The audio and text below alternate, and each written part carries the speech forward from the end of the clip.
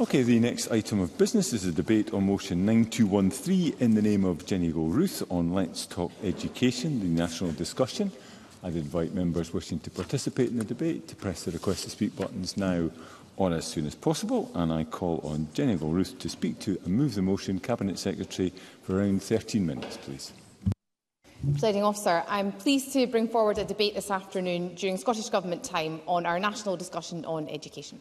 It was Professor Ken Muir's review, Putting Learners at the Centre, which provided the rationale for the discussion and the recommendation for a national discussion on establishing a compelling and consensual vision for the future of Scottish education. It is this vision that I present to Parliament today. I am keen, in the spirit of last week's debate, to engage with the opposition consensually as we move the education reform agenda forward and to listen to any ideas that they may have to support the government and ultimately Scotland's children and young people in that endeavour. Presiding officer, this morning I visited Turbank Primary School in Portobello to officially launch the vision with some of the young people who took part in the national discussion. Turbank Primary have an impressive pupil parliament and I'm quite sure we may yet see some of those representatives in this place in the future. My thanks go to the head teacher, Mr Friend, for his time and my apologies to my friend, Ms Gladson, whose primary three class I interrupted. For our older pupils and anxious mums, dads and carers, today is also an important day in the Scottish education calendar. Today marks the last day of the official exam diet.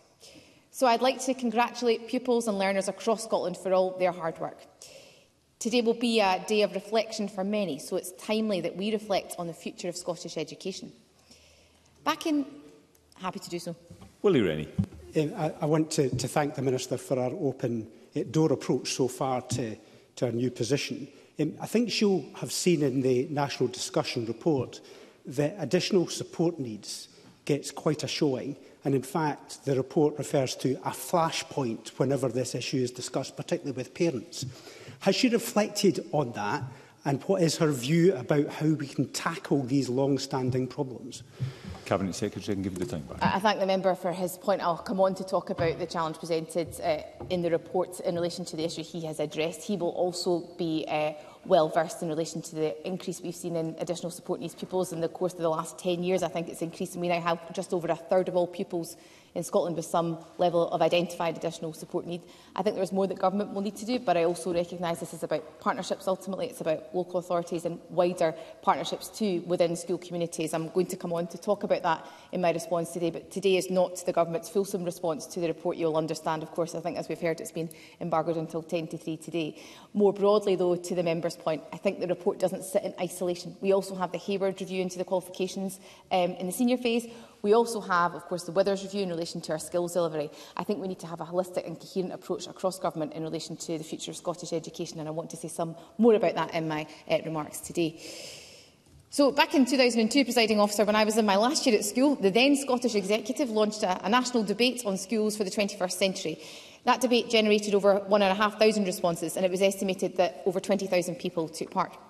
21 years later, the national discussion reached an estimated 38,000 people with over 5,600 responses. And I am indebted to Professor Carol Campbell and Professor Alma Harris, both internationally respected education experts and members of our International Council of Education Advisors, the national discussion facilitators.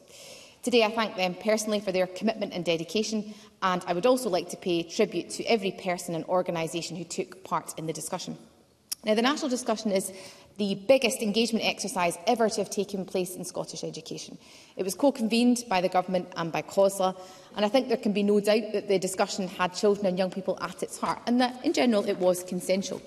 There were a number of events and discussions that took place in every part of Scotland. Those were led by schools, community groups and third sector organisations supported by the Scottish Government and local authorities.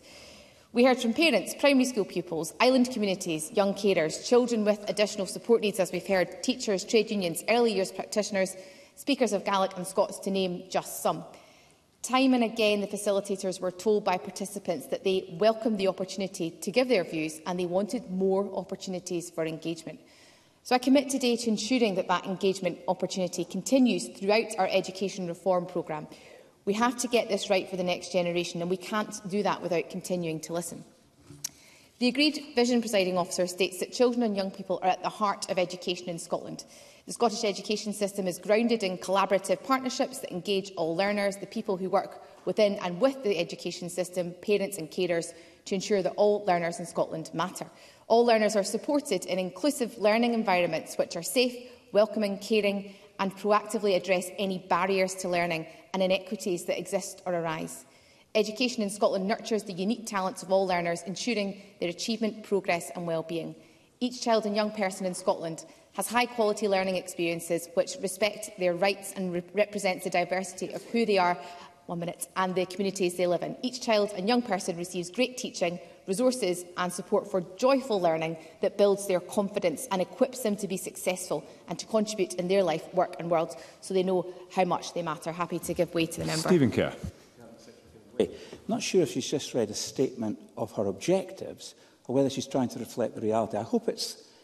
I hope it's the former and not the latter, because what this report illustrates throughout it and in every aspect of this report, there is frustration, there is unhappiness, there's a desire for improvement. And I hope that Jenny Gilruth, as the incoming Cabinet Secretary, will be someone who will bring a breath of fresh air, that she will address the issues that are raised in this report with the honesty and integrity that I think I expect of her and others expect of her. Cabinet Secretary. heaven forfend I don't live up to your expectations, Mr Kerr. Um, but in, in seriousness, uh, the vision that I addressed to Parliament is the vision from the, the document itself. So it's the vision from the document, yes. And it is for government to respond to that vision, I think, as I alluded to in my response to, to Mr Rennie. And given that members have only had the report, of course, since Thursday of last week, and it's been embargoed until 10 to 3, the member will understand that the government will need to take time to respond to the report, but I intend to do so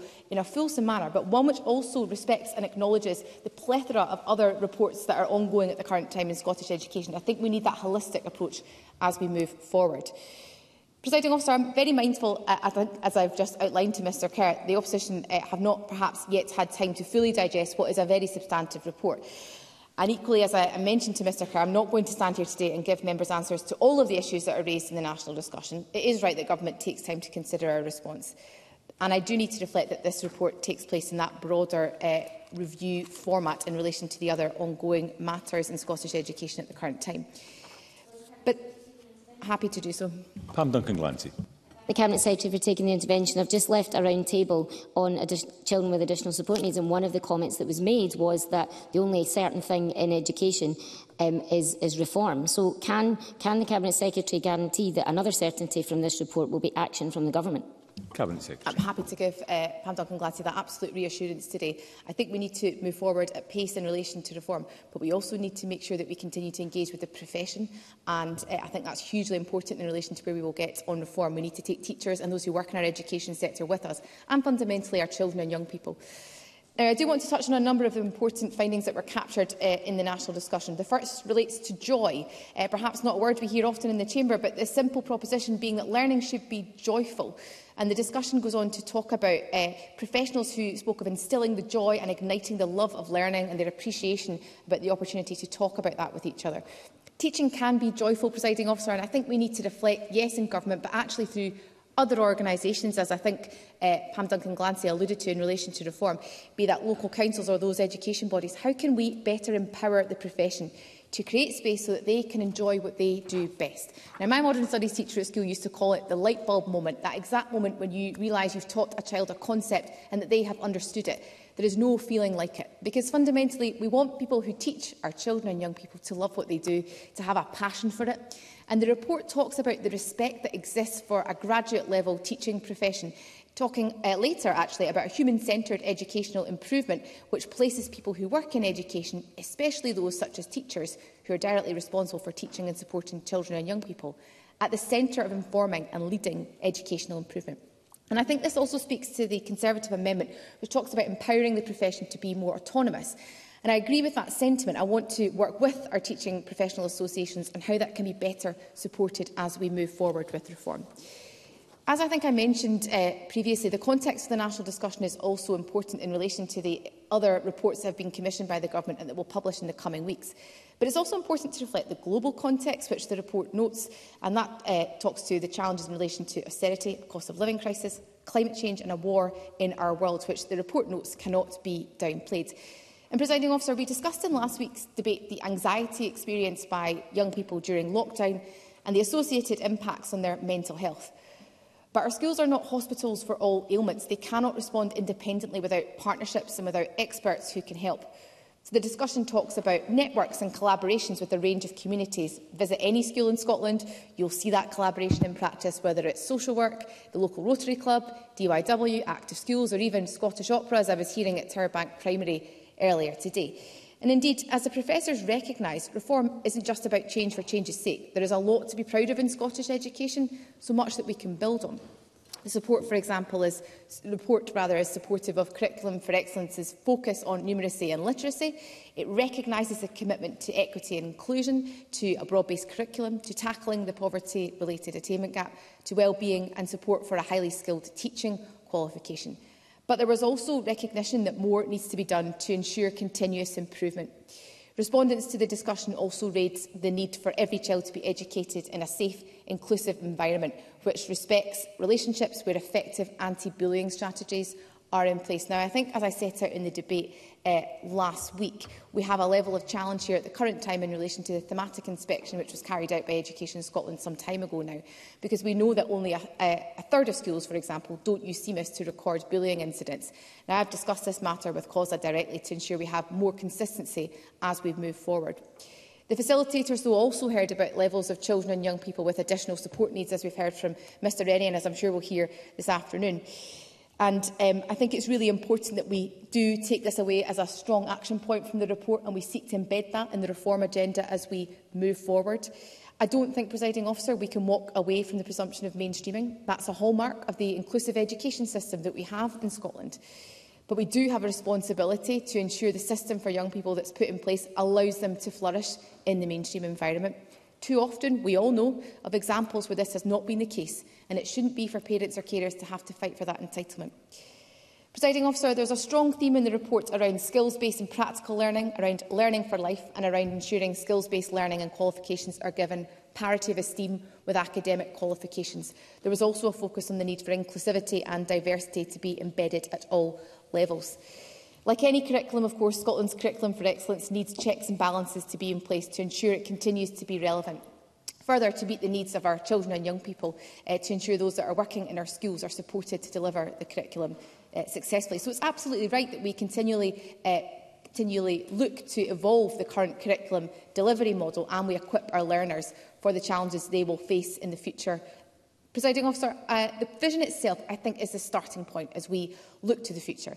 The challenge for all of us in Scottish education now is to work together to make this vision a reality. The call to action that has been developed by the facilitators drawing on the national discussion sets out the principles from which we can build actions to make the improvements we need to see in Scottish education. And as intimated earlier today, a number of independent reports exploring specific aspects of our education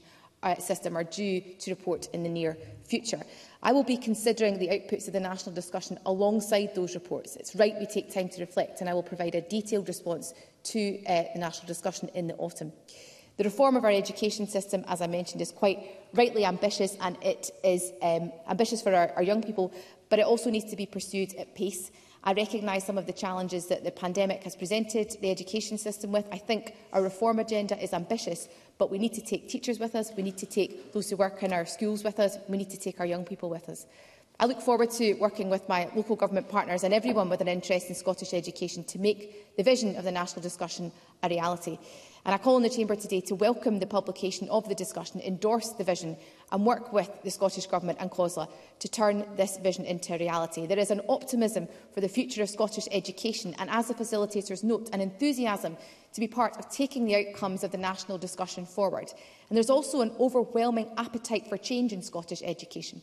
So let's not miss this opportunity and commit today to make that optimism a reality to ensure that we deliver that vision for Scottish education that ensures that all learners matter. Presiding officer. Could you move the, amend could you move the motion, please? Cabinet, you need to move the motion. I move the motion in my name.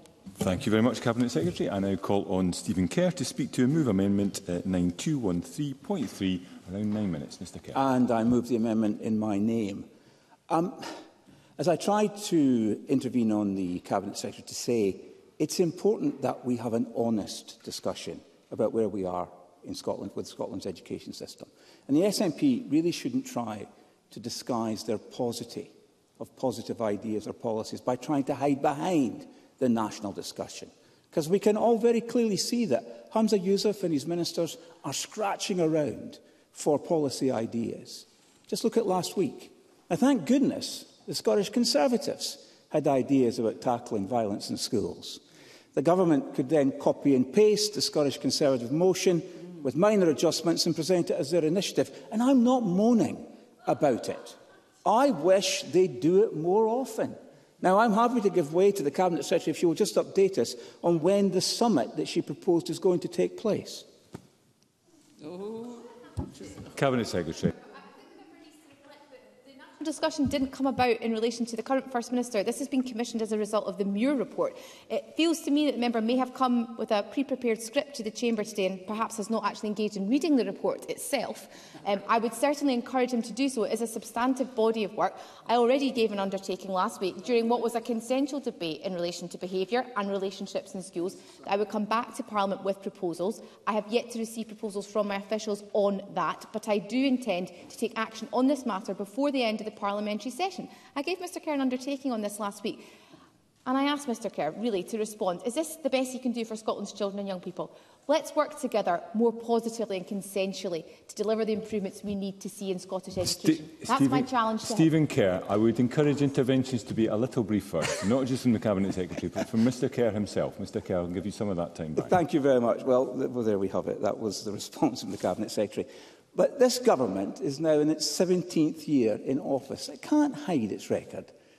in education behind the national discussion. That is my point. So my message to Jenny Gilruth and her colleagues is straightforward.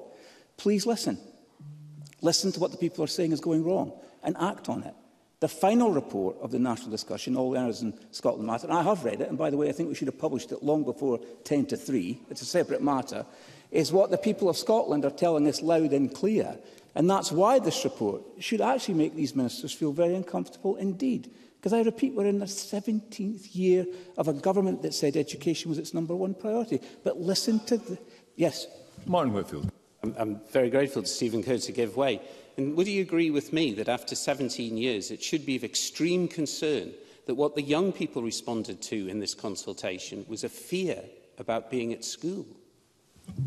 Stephen Kerr. And I'm going to quote from the report. 9.3, we heard many concerns about whether the national discussion would lead to genuine action and significant change. And goes on. We heard frustration, cynicism, or anger in some cases about whether transformational education reform, as recommended by the Muir Review, would be implemented in Scotland. We heard concerns about whether there would be a tendency to continue the status quo, rather than embracing an opportunity for the entire system to do things differently. 9.3. So as we enter the 17th year of this SNP government, people feel cheated. They feel let down. They feel angry. They've seen an SNP government big on words, big on promises, infinitesimally small on delivery. But I will. John Swinney. I'm grateful to Mr Kerr for giving way. Does Mr Kerr welcome the fact that on the most recent data, a record number of young people are leaving Scottish education to go to positive destinations at 95.7%? Does that not in any way register on Mr Kerr's view of the world has been a good thing? Stephen Kerr. Of course, I welcome positive destinations, but the definition this government uses to positive destinations, it can mean just about anything. And the tracking only goes for so many months after the, after the young people leave school. I'm afraid it leaves a lot to be desired. That is my honest response to that intervention from John Swinney. Much needs to be improved. But going back to the report, There is a groundswell, as has been referred to, of current support for educational improvement, which cannot be lost, ignored or sidelined. Again, 9.3. And Professors Campbell and Harris, the independent facilitators, conclude, so now is the time for action, most critically, time for the right action. My question is, will this Cabinet Secretary set herself apart from her predecessors? Will she take action? that parents, teachers and school leaders are begging for to reform Scotland's education system. Now, we all know the business of government is the business of tough choices. And the Cabinet Secretary isn't going to be able to please everybody because doing the right things very often results in at least temporary unpopularity. But if Jenny Gilruth makes the right decisions for Scottish educational reform and she meets resistance, I can assure her we in these benches will support her. I hope the events that uh, lie ahead will show that we are fortunate to have a former teacher as the Cabinet Secretary for Education. I know that she will empathise with the concerns writ large in this report about teacher recruitment and retention. Should have been fixed a long time ago. The report highlights the job insecurity too many teachers experience. How can teachers particularly newly qualified teachers, plan their future lives when they are stuck on a temporary contract. Mm -hmm. And the report goes on. We heard about exhaustion, stress, anxiety, burnout, affecting people's capacity to do their work and negatively impacting their personal lives. That's 6.1.22. This is what we, are, this is what we were talking about last week when we called on the government to provide extra support to teachers in the form of a national helpline. Employee helplines are very common in businesses and other organisations. That's something that can be done now to provide teachers with an outlet, because we need to rebuild teacher morale. Mm -hmm. Comments for teachers and pupil support assistants speak of a profession, of roles that have been underappreciated for far too long. And this is why the Scottish Conservatives have called for a new deal for teachers. And this report backs up what we are talking about. We want to see reduced contact hours for teachers to plan and prepare lessons, teachers paid for extracurricular activities, competitive salaries offered for specialist subject teachers, cuts to excessive bureaucracy to let teachers teach, the opportunity for teacher sabbaticals to help them develop professionally, and new pathways into teaching to attract the best talent. And beyond these proposals, there are three specific issues that I hope I have time to mention that we need to openly and calmly debate. Firstly, the autonomy of head teachers. I have always felt that it was far better to trust head teachers to run the schools they know and the school populations they know in the communities that that they know than to leave decisions in the hands of national, regional or local authority managers. There must be accountability and we need to give careful thought as to how that can be best achieved. But head teachers should have the freedom to innovate and lead according to the needs of the pupils in their care. Secondly, I don't know if I have time. Do I have time? You've got a bit of time back. I will take an intervention. Ross Greer, briefly. Thanks. I'm grateful to the member for taking the intervention. I strongly agree on the uh, need for more autonomy at schools, but the member may be familiar with proposals in the last session for a head teacher's charter. When the Education Committee took evidence on that with 32 head teachers, their response was unanimous. They wanted the school to be empowered. They did not, as an individual, want to be empowered because they wanted their whole team to take that approach to making decisions in their Stephen Kerr. leaders in any walk of life are leaders that lead teams of people. That's a fact, so I don't disagree with that. So, secondly, there's a great deal in the report about the value of play based learning. So, we should review formal schooling starting age, perhaps to, the age, to age six. The starting age is six in Germany, Spain, Denmark, Sweden, and Norway, and is seven in Finland and South Korea. Something we should look at. Thirdly, we need to give serious consideration to the presumption of mainstreaming for children with additional support needs. There is clear evidence in the report that what we have currently is not working. The report recounts concerning and troubling experiences from parents about their child, this is a quote, not receiving timely and necessary supports and sometimes inappropriate use of exclusions and other sanctions. The need for appropriate ASN provision is now urgent. 5.2.10. In large classes, pupils with additional support needs struggle to learn. Their classmates struggle with their sometimes distressed behaviour. It is high time we address this. The people of Scotland care passionately about their education system. The end of the report states, quote, the scale of the response is unprecedented in the history of national engagements about Scottish education, 9.2. That makes me proud. Proud to be part of this great nation, that we care so passionately about our education system. But here's what the, here's what the report concludes, and I will conclude. Quote, one thing is clear, there is an overwhelming appetite for change. Presiding officer, the people of Scotland are watching and waiting. We urgently await action from this SNP government. More words won't cut it, and I call on the government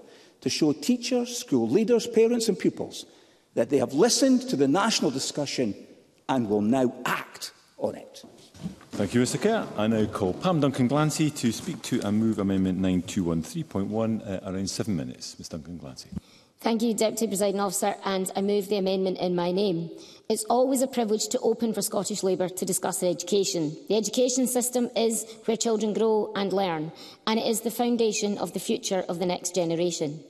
That's why it's imperative that we get it right and why it's so important to listen and take on board all that has come through this national discussion, an opportunity which has been said has seen an unprecedented level of response to the engagement on the education system here. No small feat and one that should be commended. I want to say a particular thank you to the 26,000 children and young people who took part and to Professor Carol Campbell and Professor Alma Harris, who have produced the report. And I also want to say from the outset that we will support the government motion today. One thing is clear, and we cannot emphasise this enough. There is an overwhelming appetite for change. Now is the time for action, most critically, the right action. As colleagues have already said, those are not just my words, but are from the conclusion of the report, drawing on responses from tens of thousands of young people, teachers, pupils, employers and trade unions.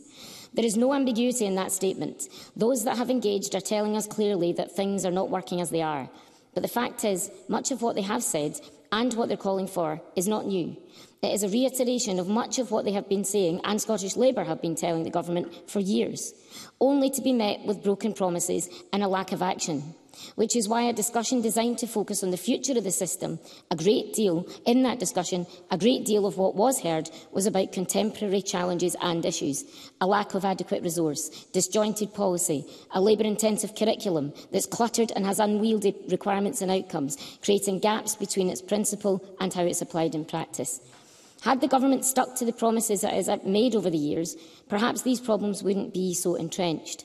But the reality is that a fundamental failure to stick to its own commitments on increasing teacher numbers, reducing non-contact time and making class sizes smaller, to name a few, in many places is actually rolling back, has left teachers with the impossible task of trying to deliver truly person-centred education in a system that is overstretched and constrained by a lack of resource, particularly while they themselves are plagued by exhaustion and burnout, facing an ever-increasing and intensifying workload, battling poor conditions. Change that is visible is not just overdue, it is urgent. The system is already beginning to unravel, and that must be halted.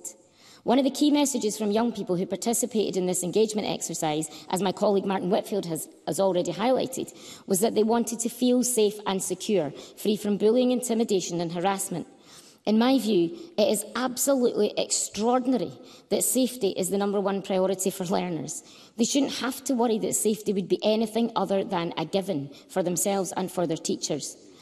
But this chamber knows only too well that the current environment in schools for many is not safe or secure and it's not inclusive either.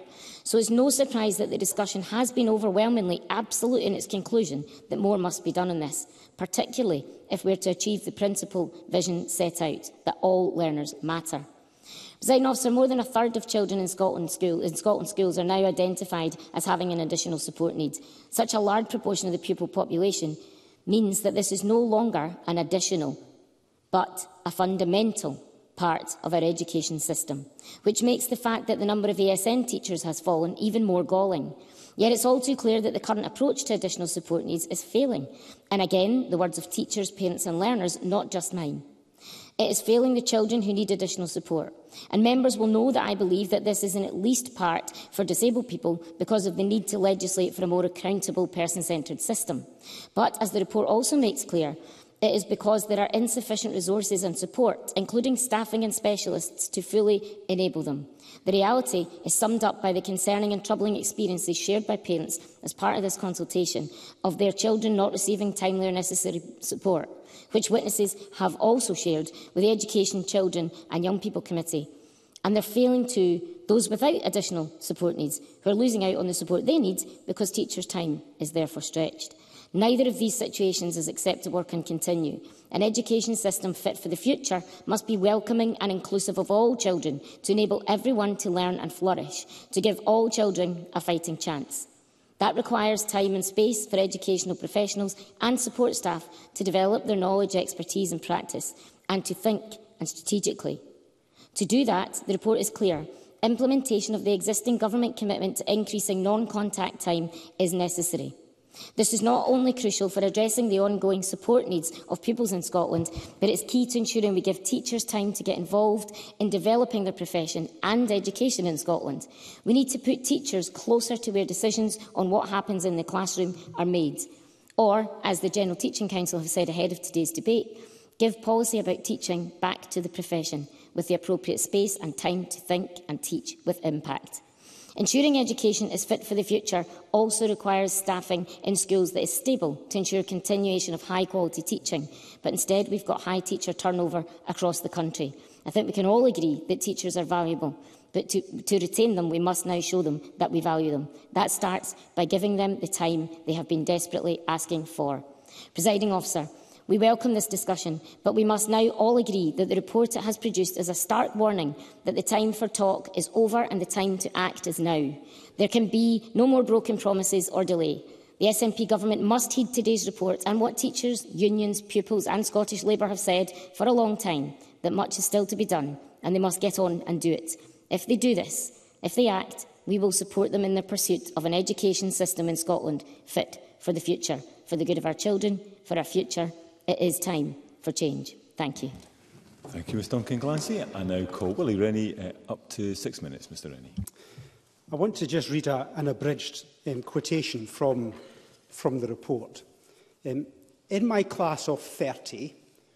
four have ASD, three long-standing separation anxiety difficulties. One has been adopted, one has a difficult home life and experienced a form of trauma. One is a young carer. Two others have severe learning difficulties.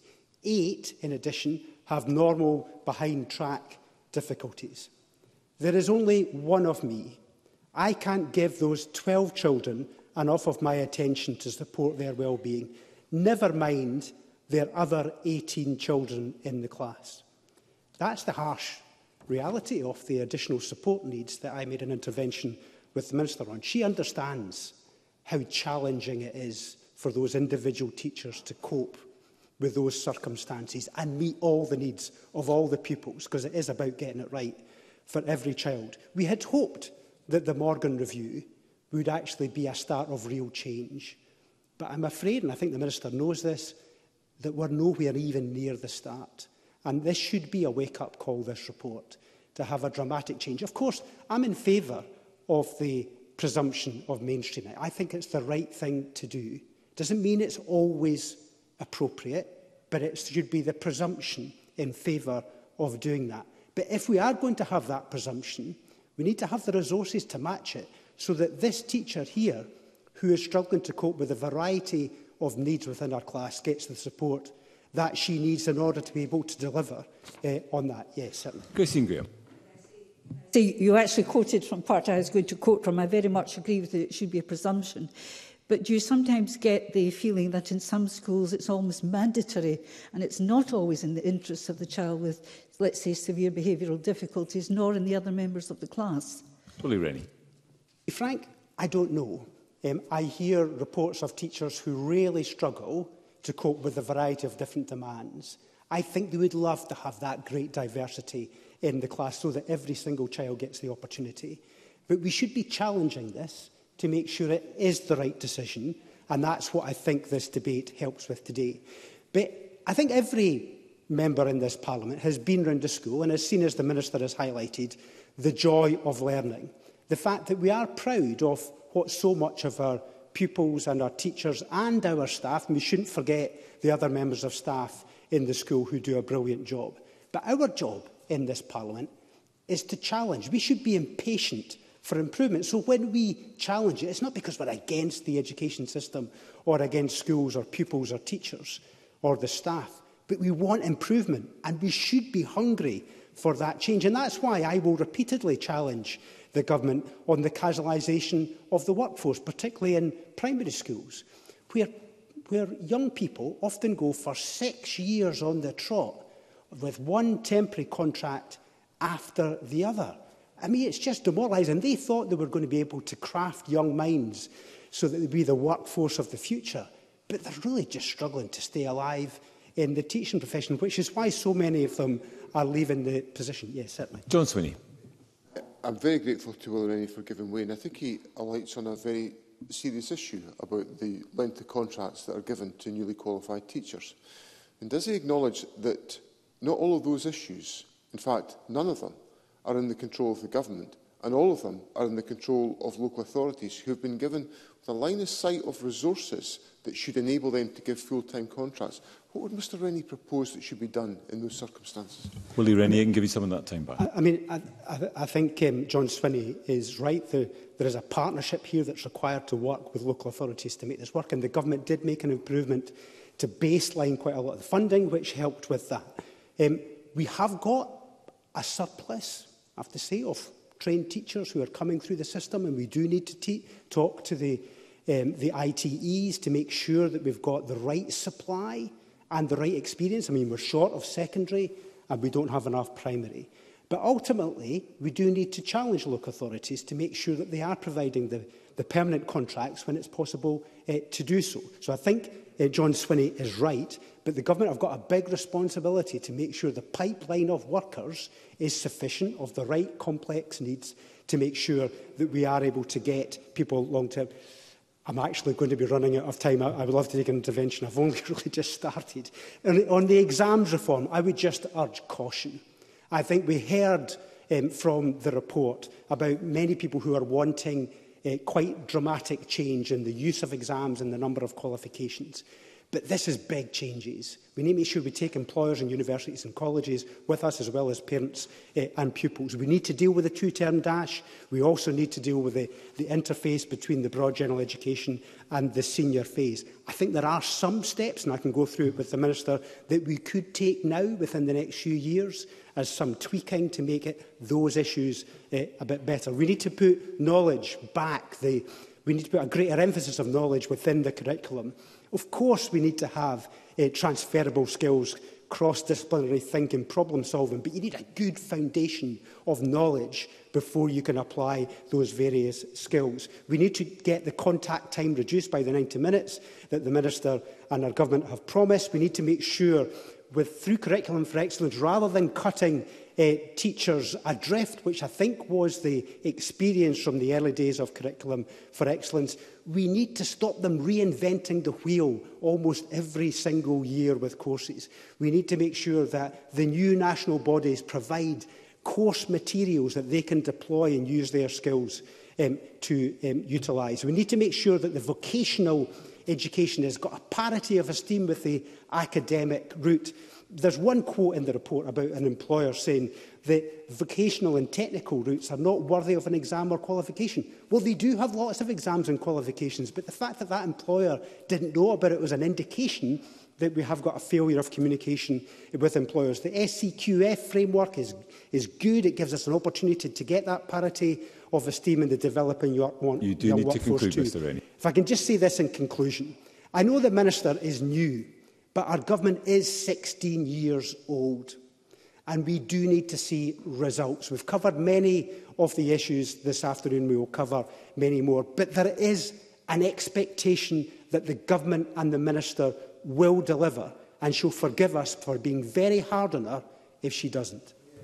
Thank you, Mr Rennie. We now move to the open debate. Um, there really isn't um, any more time in hand, so uh, interventions will need to be accommodated in the uh, time allocations. I call first Ruth McGuire to be followed by Liz Smith uh, for up to six minutes. Ms McGuire. Thank you, Presiding Officer. What kind of education will be needed by children and young people in the future and how do we make that a reality? That was the important central question that guided the national discussion. I welcome the publication of All Learners in Scotland Matter, our national discussion on education, and I'm happy to speak in support of the Government's motion, which acknowledges the significant levels of engagement that the national discussion generated. There were events and discussions in every part of Scotland, events and discussions led by schools, community groups, third sector organisations. This was the biggest public engagement exercise on education to have been undertaken nationally in Scottish education, and it reached more than 38,000 people, 26,000 children and young people. Tasked with building a compelling, consensual, renewed vision, the agreed vision speaks directly to the voices of children who said again and again that what they wanted was a safe, inclusive education system which valued everyone and celebrated all kinds of success. I do think it's worth hearing that vision in full. Children and young people are at the heart of education in Scotland. The Scottish education system values collaborative partnerships that engage all learners, the people who work within and with the education system, parents and carers to ensure that all learners in Scotland matter. All learners are supported in inclusive learning environments which are safe, welcoming, caring and proactively address any barriers to learning and inequalities or inequities that exist or arise.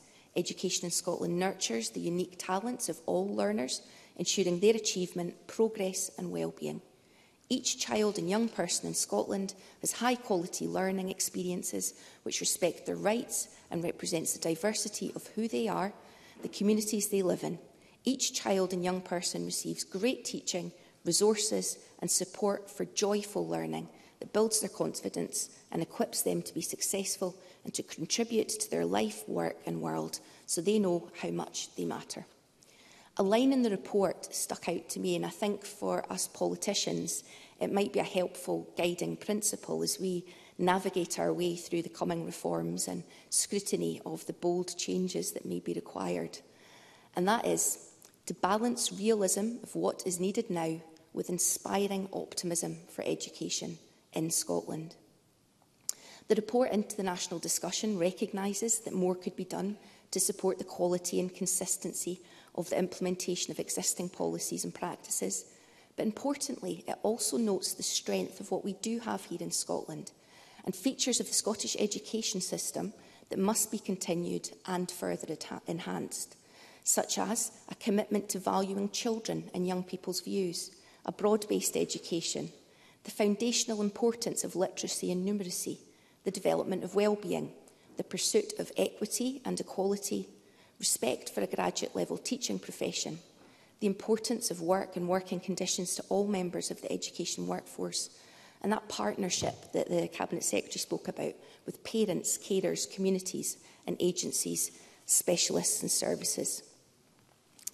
Ahead of the debate, um, YouthLink Scotland provided a helpful briefing note in which they state that Scottish education can remain too narrowly defined and too often understood as formal learning planned for and delivered by teachers in a formal setting. The purpose of Scottish education is to ensure that all our children and young people develop the knowledge, skills and attributes to reach their potential in learning, life and work. I agree with YouthLink Scotland that youth work in all its forms can complement and enhance the delivery of the formal curriculum and the provision of support for pupils. It contributes greatly to raising attainment and to improving outcomes for children and young people. A future Scottish education system will need to not offer not just high quality teaching and learning, but also different learning pathways. The report talks of the need to reignite the joy of learning. And I strongly welcome that play and outdoor learning are specifically mentioned in there. I know, not just as an MSP, but also as a parent, and perhaps even indeed as somebody who wasn't naturally inclined to thrive indoors in a classroom, just how important youth work is. Any ambitious, inclusive, supportive system with children's rights at its heart will be clear that youth work is part of education. It would be helpful in closing if the Cabinet Secretary could talk a little to how the National Youth Work Strategy will link into the educational reforms that are coming. President Officer, I'll end on that balance of realism and optimism. I want to acknowledge um, the issues that we do have and acknowledge the challenges that we face around investment. We face those challenges right across our public services. We're operating in hugely challenging times. For meaningful educational reform that truly, truly reflects all learners matter, there will be difficult choices to make. The optimism bit, though, the vision is there, and I believe that we do have all the skills and resources in Scotland to achieve it. Presiding officer. Thank you. I now call Liz Smith to be followed by Christine Graham around six minutes. Uh, thank you. Uh, when Nicola Sturgeon uh, told education leaders in August 2015 that education was her number one priority, I think the vast majority of people across Scotland, certainly in this chamber, agreed with her. I certainly did. Uh, so when six months later she reiterated that commitment and told us that there was a new education bill forthcoming promising greater devolution to schools, I was very encouraged. I was never somebody who would subscribe to the view that everything in our schools was going badly wrong, but neither did I subscribe to the view that everything was well and that the status quo was acceptable. And I, in fact, I remember uh, John Swinney at the time, and I hope I um, quote him correctly, when he said uh, on the cusp of introducing an education reform bill that the status quo was not an option, and he was absolutely right in that comment. Now, interesting as some of the feedback is, I do wonder if we had been quite in the same place if the Scottish Government had both listened to and acted upon the collective findings of the Donaldson, McCormack, Cameron and Bloomer reviews in Scottish school education, all carried out by experts in their respective fields between 2011 and 2016, because the collective message then was that while Scottish education had much on which to pride itself, the school system needed to be shaken out of its complacency. And incidentally, exactly the same conclusion had been uh, the, the case with the proposed Howey reforms way back in 1992.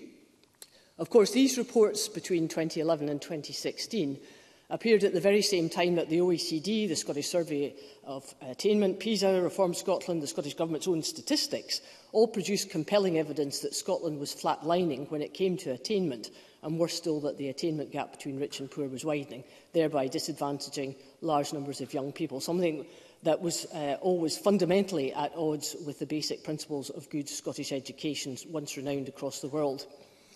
The 2017 Programme for Government proclaimed, and I quote, a new education bill will deliver the biggest and most radical change on how our schools are run.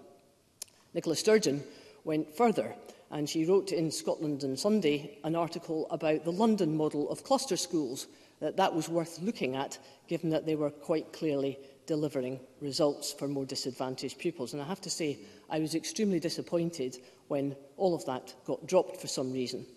Presiding officer, three things above all else matter to me. Firstly, that teachers have not been sufficiently valued as key professionals. Graham Donaldson had interesting things to say about that particularly when he said that too many teachers were reporting that they felt uncomfortable with regard to some gaps in their professional training. And of course, it doesn't help when we see the soaring numbers of cases of verbal and physical assaults on teachers, which Stephen Kerr's debate highlight, highlighted last week, and which I know my colleagues across the chamber um, will attempt to deal with. Secondly, the Scottish Government has shown an extraordinary unwillingness to properly reform the education agencies, not just to rebadge them and move the deck chairs around a bit, but to properly reform them to enhance the support that is available to teachers. No one can argue that Education Scotland and SQA have had a happy history in recent times. Indeed, when I was on the Education Committee of this Parliament for a substantial number of years, hardly a term went past when uh, the committee's attention was not being drawn to significant problems within the agencies, problems which meant that teachers felt remote uh, and rather frustrated uh, about the education agencies, and that can never be a good blueprint for a successful education system. But the main message, I think, of the national conversation is that education cannot stand still and that school leaders uh, should not expect the curriculum to do either. Which brings me to my third point, and it's one that members have heard me raise in this chamber over many years, but I do so again because I am utterly convinced that it matters, and that is the question of the extracurriculum. If you ask yourself, What is education for? And we should all do this.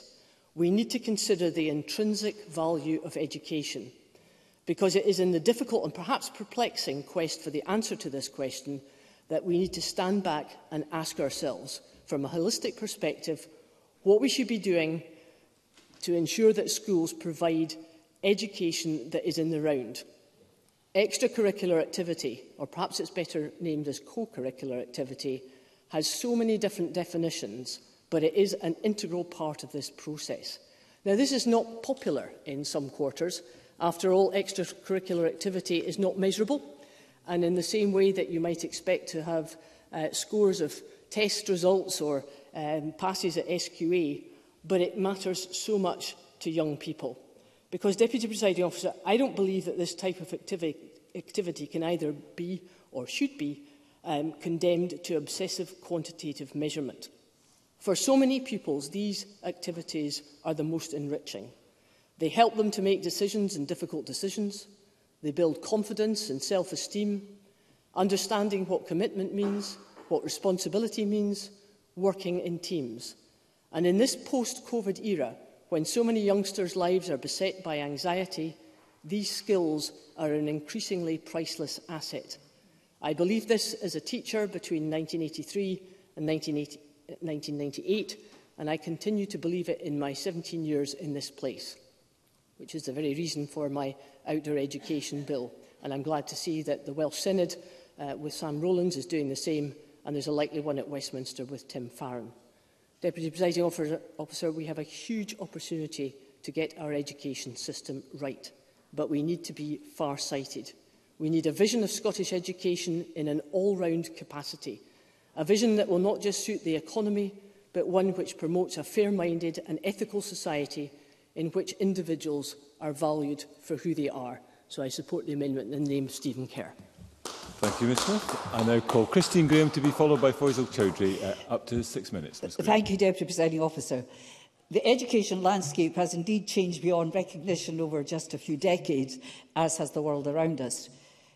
From the education I had in the 50s and 60s to the education I delivered as a secondary teacher in the 70s to 80s to today, there are worlds of difference in and outside the classroom.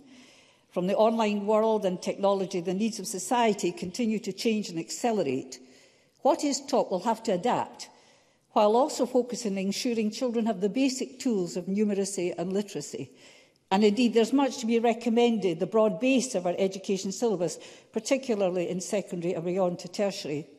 However, I welcome the wide-ranging report which endeavours to provide a broad discussion about what our children need in today's world to help them thrive and indeed contribute in their own way to society, but to make schools a place where inequalities are minimised, diminished, and most importantly, are a safe and happy place to be. I will focus first on, for me, the linchpin of that success – the teachers themselves. Something that remains constant is the value of a good teacher, and there are many good teachers. Some of us here, no doubt, can easily recall the good and distinguish from the mediocre, no matter how distant our learning experience. That evidence is the impact of the quality of teaching has on us, even decades on. And this is recognised in the report. Quotes, One very strong theme that featured heavily in the responses to the national discussion was the importance of valuing and appreciating all educational professionals working with and within schools. We listened to some robust views about the importance of teachers and the need for more support staff, including classroom assistants, learning assistants, support for learning staff and pupil support staff. We heard about the importance of class sizes, affecting how much time and attention a teacher or support staff member could give to each individual child or young person, close quotes. Class sizes come next for me. The smaller the class, the easier it is to teach, to give time to each child. I once taught a class of 40 and another of 16, and how I taught was determined not just by the character of that class, but the size itself. That, for me, is self evident. Add in now inclusivity, which is to be welcomed. There is not for me the answer for all children with, say, severe learning difficulties or behavioural issues, not just for their development and well-being, but for the other children in the class, and I refer to my intervention on Willie Rennie. There is a question about whether it's best for a child, say, with very difficult behavioural issues, to be in a mainstream class.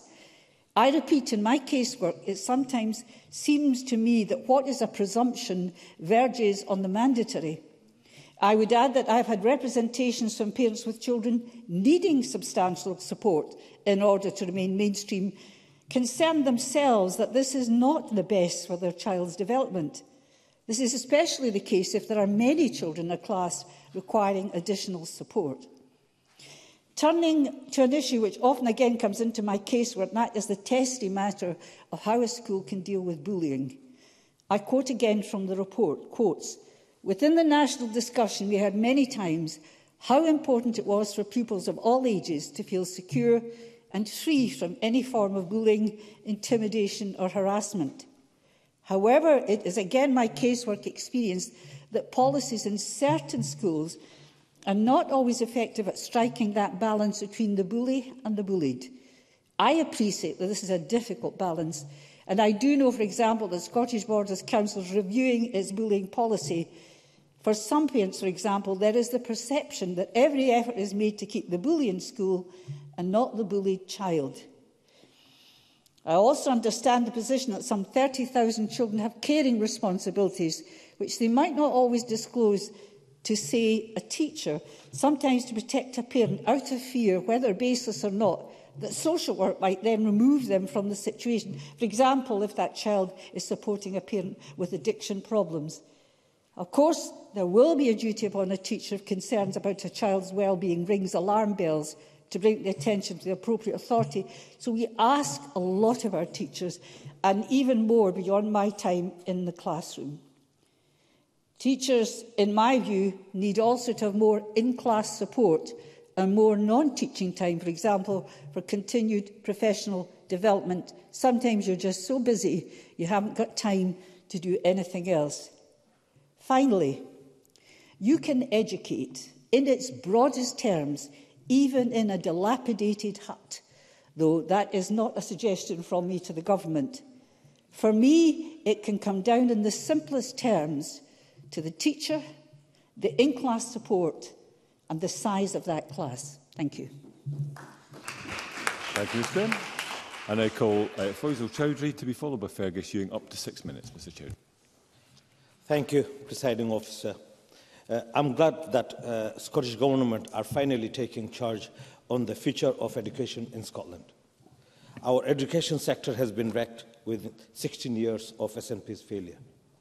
Failure to support teachers, failure to support pupils with additional support needs, and failure to update an outdated and narrowing curriculum. Uh, I've got a lot to go uh, uh and As some of my colleagues have already pointed out, in the last 16 years, teachers' number have fallen. The number of teachers in Scotland has fallen by 907 since 2007. The Scottish Government have not yet delivered on their promise to hire 3,500 teachers and pupils support assistant. This puts a strain on both teachers and pupils and negative impacts class sizes. Teachers were also promised 90 minutes of non-contact time per week. The Scottish government, government have made little progress in the meeting this. Teachers in our education system need to be valued and given time to think about and plan their teaching and learning outcomes. Teachers are not the only ones in our schools struggling. People support assistance provided essential support for children, eh, children's education and social development. But there is currently a crisis in retention and recruitment of PSS. This is primarily due to PSS being underpaid and undertrained to deal with the demands of the job. PSS often work with children with additional support needs without adequate training or support. This only further exacerbates the lack of support available to children with additional support needs. A lack of PSAs in classroom can create unsafe working condition and can decrease attainment for children.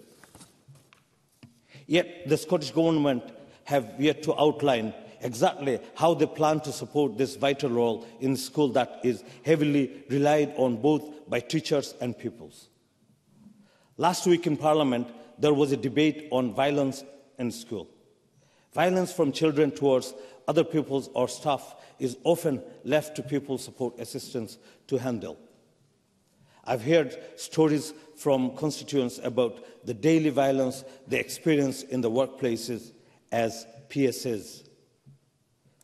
They are often the ones who deal with the brunt of violent behaviors and relieve classes uh, of violent disruptions. Yet they receive little support or training on how to effectively deal with the violence in their workplace, which once again causes many to leave the profession. The Scottish Government must move forward showing teachers and support staff that they are listened and valued within our education system. Only then can we actually be, uh, begin to improve the situation. Presiding officer, there also need to be some development in the curriculum being taught in our schools. The narrowing of the curriculum for excellences does not effectively prepare young people for the future. Our education system should prepare children and young people to deal with the major social, economic, cultural, personal, and political challenges that are present in the 21st century. The current curriculum for ex excellence is ill equipped to teach young people about this important aspect of life.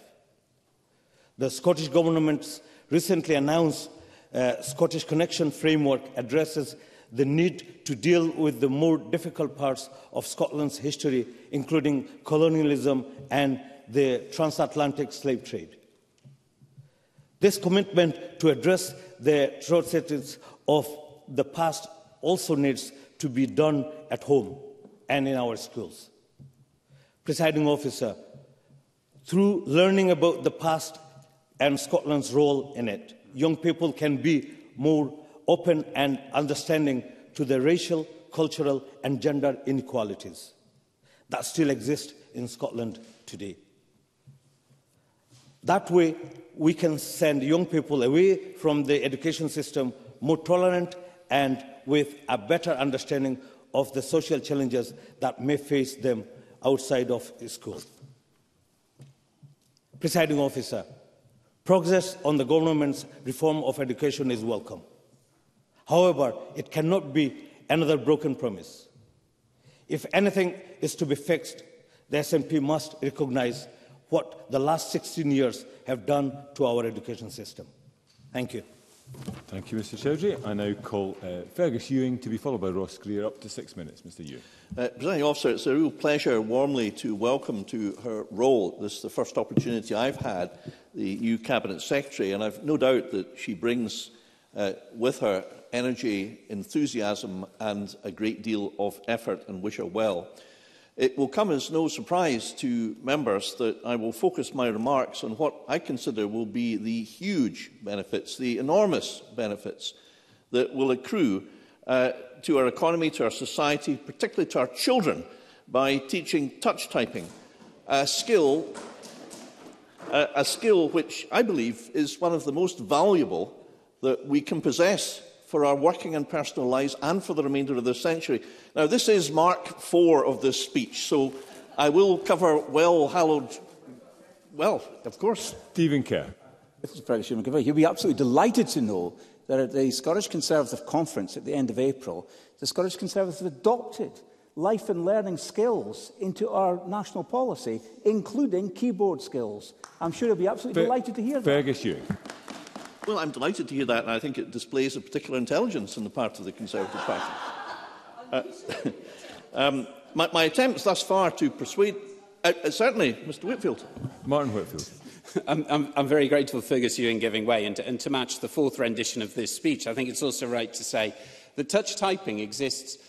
within the curriculum for excellence is one of the skills anyway in the IT. And yes, keyboard skills are hugely important, but actually it's the skill of touch typing that frees our young people from the physical challenges of physically writing, particularly um, in the case of children with dyslexia. Fergus, you. Yes, I totally agree with Mr Whitfield. It is in the curriculum, but the, the problem is that whilst it's in the curriculum, supervision, which is essential, is not provided. And I'll come on to that. But um, my, my attempts have failed thus far, but I... But, oh, of course I will, yes, of course. Willie Rennie, I think briefly. members might see a, a slight bit of coordination today. Um, but, but, but as a, somebody who types with his thumbs, I think there should be a greater education on touch typing in schools, and I hope we can persuade uh, the Minister to perhaps task somebody to make sure that it's given greater uh, priority. Fergus, um, well, I'm extremely grateful to Mr Rennie, and this spontaneous expression and outburst of cross-party support is, of course, extremely welcome, but it is very serious because it does show, presiding officer, this is not a partisan political issue. There's absolutely nothing I've got to say that is anything to do with party politics at all. It's all about the enormous benefits that I think can be achieved for virtually zero cost, just teaching the teachers to to train teachers how to supervise young people. The average length of, of time it takes for a young person in supervision is 15 to 20 hours. That's a blink of the eye when one thinks of the time that children spend in school. Uh, here are some of the benefits. With a short investment of time and money, children gain one of the best life skills and use daily in their work and for personal purposes. It sees a great improvement of self-esteem and confidence in young people, something that's so important and empowering when children feel confident they can succeed. If they're worried, if they're afraid, then perhaps it's far more difficult. And for adults, the productivity potential benefits are simply astounding. A touch type in a typical six hour day will complete up to three times more work than those without the skill. You know, we hear frequently broad aims, aspirations, let's increase productivity. Very rarely do you hear about a very specific, clear-cut, concrete measure that can actually do it. This is it.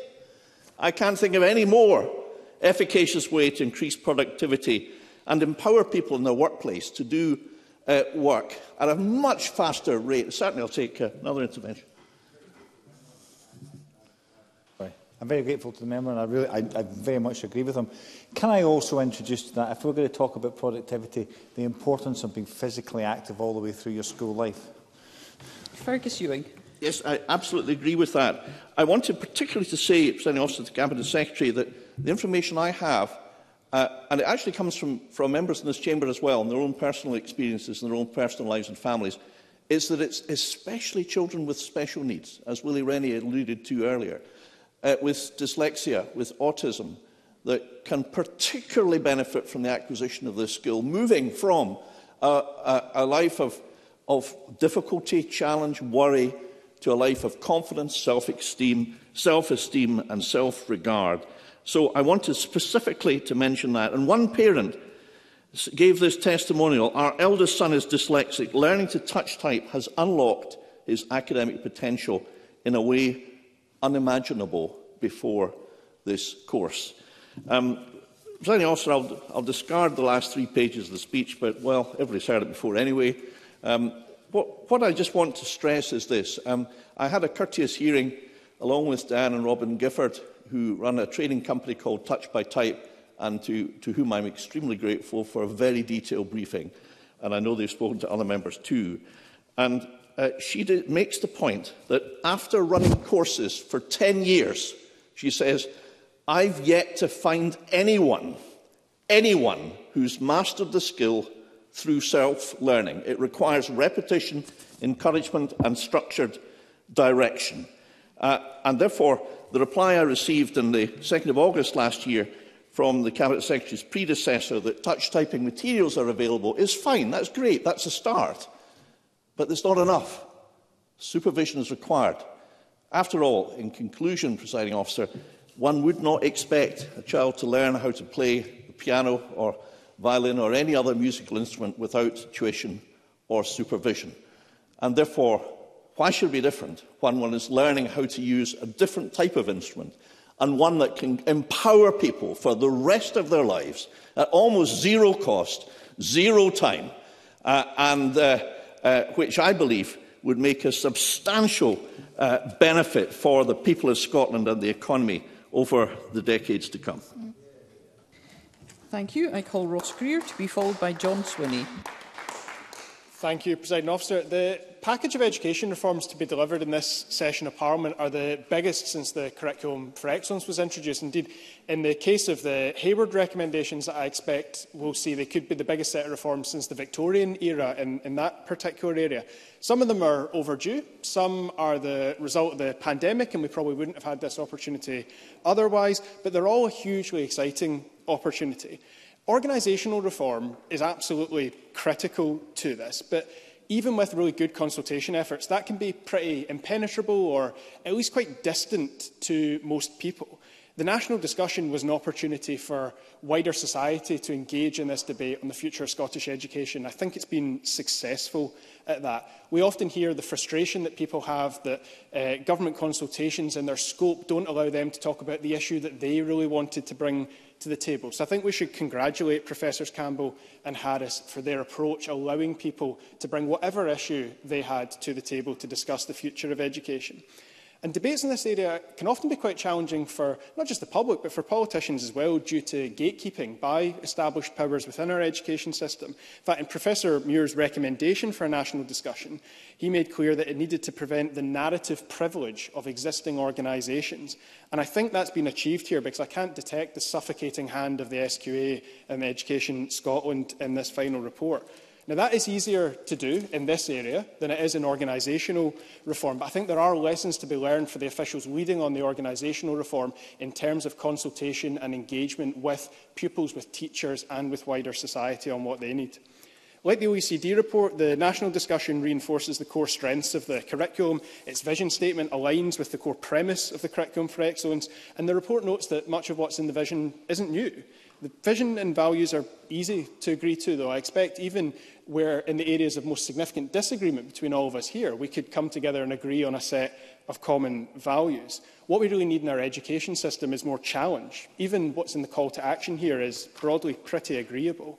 And if I have one concern about this, it's that those existing powers, those with the narrative privilege in education, can agree to what's in this report and say that what they're already doing will fulfil it, which is why we need that greater challenge. And I really welcome the Cabinet Secretary's commitment to drive forward substantial reforms across the system.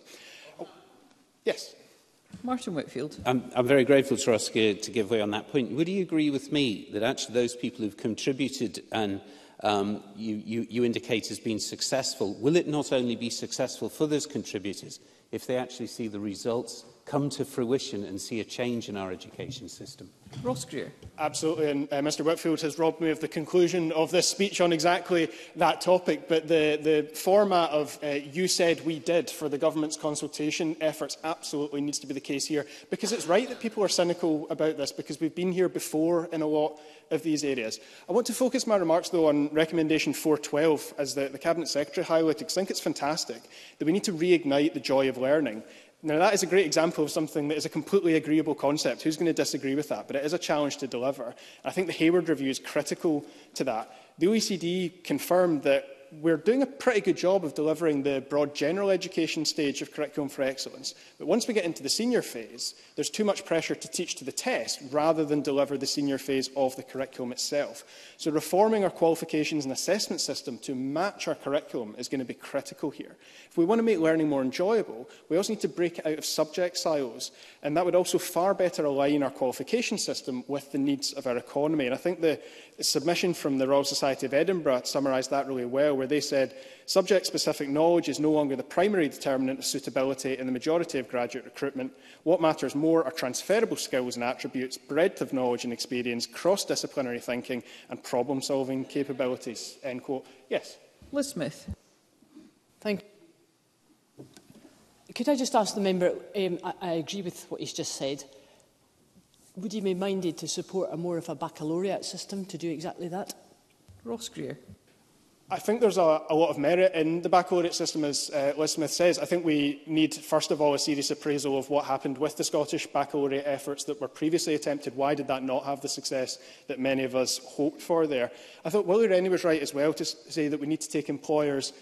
and colleges and universities with us in any reform of the qualification system. Because employers want these wider set of skills to be recognised, acknowledging that in many cases they already are, but there's a, a disconnect there.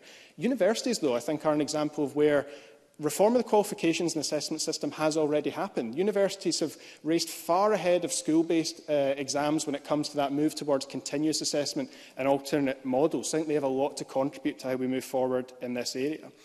Reigniting the joy of learning, though, also requires acknowledging that learning takes place outside of schools. So if we want happy children, young people, we need a good balance of schoolwork with the rest of their lives. And that brings me to the question of homework. I think we know that if we were extending the school day, it would have, uh, on balance, a net negative impact on children and families. But there's growing recognition that adults have a right to disconnect from their work out of hours. So we need to ask if our current levels of homework are necessary and seriously consider, I think, ending homework in primary schools. If if children need to get through that work, we need to question the curriculum itself. And if there's issues of cluttering in the curriculum, which is certainly the case in primary school, we need to resolve those. And that is compatible with giving teachers professional autonomy in the classroom. It's for them to decide how to deliver learning in class. But it's for all of us here to have responsibility for children's whole lives. School can be a place of joy if it doesn't follow children home We have significant opportunities over the next couple of years to deliver on reforms that, as I said, in some cases are long overdue and in other cases have only emerged as an opportunity in the last few years. There's a lot of cynicism about our ability to deliver them, but I think what we've got here is the right package of reforms and the desire across the Chamber to make sure that we leave a lasting legacy for decades to come. Thank you. Thank you. And I call John Swinney to be followed by Sue Webber.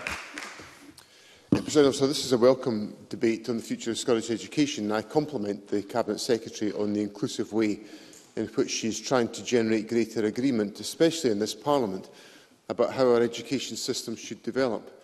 Securing that greater agreement matters because, quite literally, the future of our country depends upon it. In working to establish that agreement, there has to be a willingness on all sides and amongst all partners to recognise the reality of Scottish education – and to be prepared to consider evidence that supports the appropriate direction of travel. In that respect, the Cabinet Secretary may have to revise, refocus or even remove some of the precious interventions of some of her predecessors. I know she will have the resolve to do so, and her predecessors will just have to come to terms with that. Equally, other parties may have to be prepared to recognise more of the strengths that truly exist in Scottish education than they are prepared to admit. I'm constantly struck by the often negative characterisation of Scottish education expressed by opposition parties in this chamber compared to what opposition members say about the performance and the achievements of individual schools in their own communities and constituencies when it comes to getting press releases and media opportunities. Oh, I seem to have touched a raw nerve with that one. So uh, I'll give way first to Pam Duncan-Glancy and then I'll give way to Liz. Pam Duncan-Glancy. I, I thank the member for taking that intervention, but would he also accept that satisfaction with schools in Scotland is going down? So it's not just that the opposition are complaining or being negative. Actually, the people of Scotland are seeing the, the, the systems that they rely on declining. John Swinney. There's very high satisfaction with Scottish education and there's very high confidence and uh, recent opinion polling demonstrated this in the government's stewardship of education. And it's not helped by Mr Chowdhury's characterisation of the government having wrecked Scottish education. What sort of language is that? And Mr Chowdhury can't substantiate his point and it's inappropriate language to be used to characterise the debate. And I noticed that Pam Duncan Glancy didn't use her intervention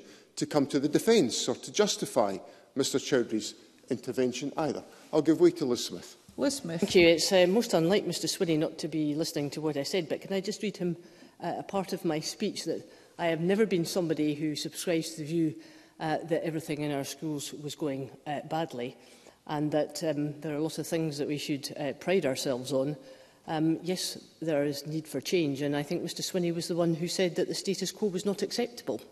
That, that, that's, that, that's, that's very nice, but uh, for the five years I was Education Secretary, that didn't feel like what Liz Smith used to say to me on a fairly regular basis.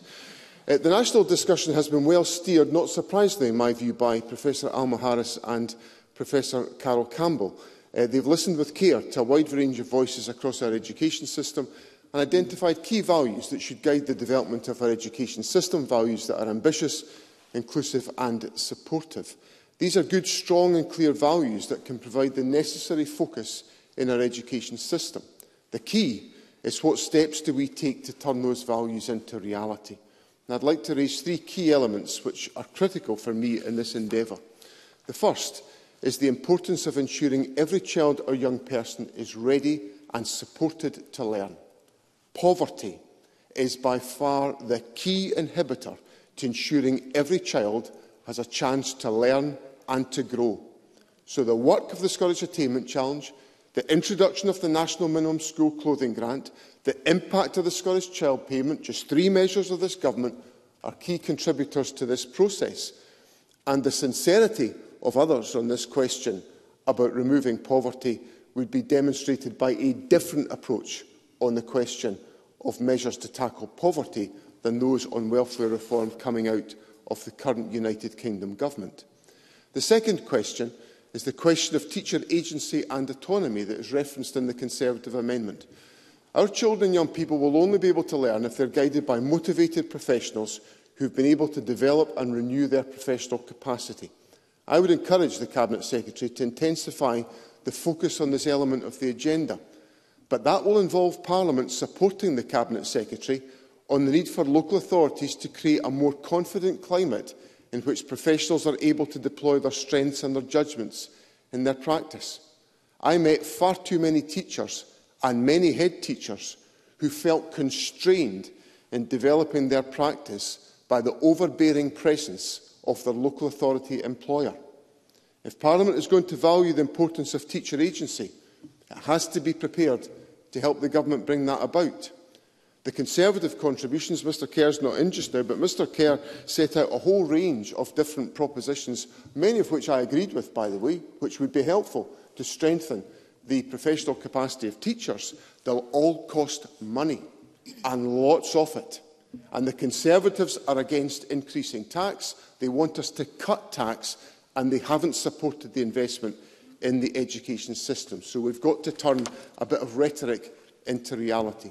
The third theme is encapsulated in the not selected Lib Dem uh, amendment, which is the importance of parity of esteem for vocational qualifications. This is absolutely vital, crucial, seismic. Members can call it what they want. It is what has driven so many of the improved outcomes that have been achieved by young people in recent years. Mr Rennie cited the Scottish Credit and Qualifications Framework, the development of new qualifications and awards, the recognition of the potential in every young person is central to ensuring our education system lives up to the values of this national discussion of being ambitious, inclusive and supportive. President Officer, in conclusion, um, without wishing to sound like an old man, uh, one of the biggest differences I see in our education system today to when I was in school in the 1970s and 1980s is the focus on ensuring every young person goes on to a good, positive outcome. I received a fantastic state education in that period and went on to a good outcome. It wasn't the case for most of my peers, however. One of the strengths of Scottish education is ensuring every young person gets a positive outcome, and that should be central to the national discussion.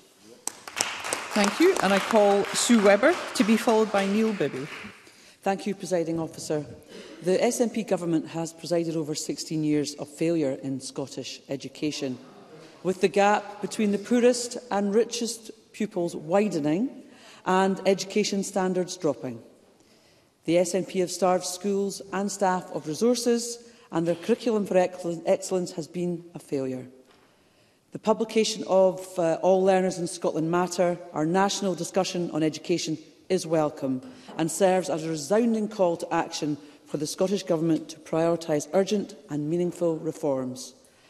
Acknowledging the prevailing frustrations that were mentioned in Stephen Kerr's contribution, the cynicism, the anger stemming from unmet promises of reform in the past, the report instills a sense of doubt regarding the Government's commitment to genuine and lasting change, underscoring the necessity for immediate action.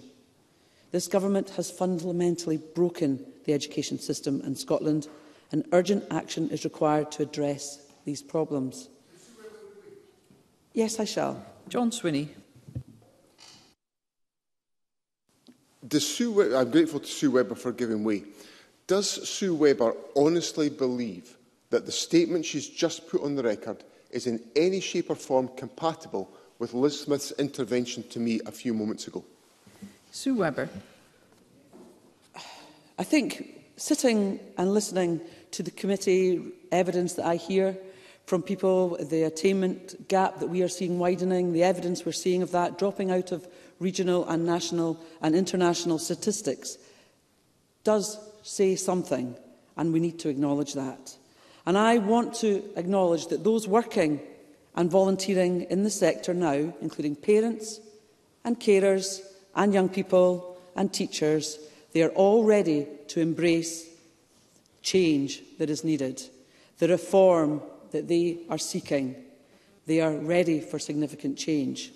We have heard about the importance of a future Scottish education system which was welcoming and inclusive of all children and young people, including attention to early identification and adequate resources and specialist supporters to enable everyone to learn and flourish. The Scottish Conservatives would encourage the use of digital technology from the earliest stages of school and in all subjects, not just the ones traditionally associated with IT, such as computer science and administration. Our young people want to use technology in their learning, but teachers and PSAs must also be provided with the continuing development opportunities to keep pace with this change. It's rapid and how and what people are learning.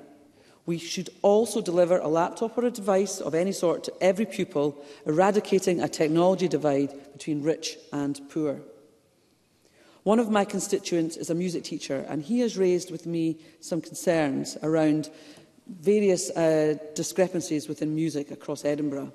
He works in a number of primary schools across the city with the Youth Music Initiative, get my teacher in that, While he acknowledges the additional funding that's been announced for the Youth Music Initiative, he does not believe that it's enough. This goes back to the extracurricular work that Liz Smith was mentioning. We are already seeing a situation across the UK in which most of the young people go on to study music at university are privately educated because they are some of the few people receiving adequate music education. The Scottish Conservatives' New Deal for Teachers would allow more children in this situation to learn music. And linking to music, it's now abundantly clear that the well-being and health of children and young people is one of the most pressing and important issues in Scotland. Without proactively addressing the issue of well-being and mental health, any attempts to improve learners' achievement and attainment levels will be undermined. We know that there's a growing need for more support for children and young people, with most long-term mental health problems beginning in adolescence. 75% of mental illnesses start before a person's 18th birthday. Schools and colleges should be utilised to provide early, preventative mental health support to children and young people across Scotland. Mindfulness is the basic human ability to be fully present, aware of where we are and what we're doing, and not over overly reactive or overwhelmed by what's going on around us. Teaching mindfulness and therefore resilience and our young people will help them with the challenges they face now and into the future. The nurturing, supportive environment in our education system must start as soon as possible. It makes our young kids more resilient, as I've said.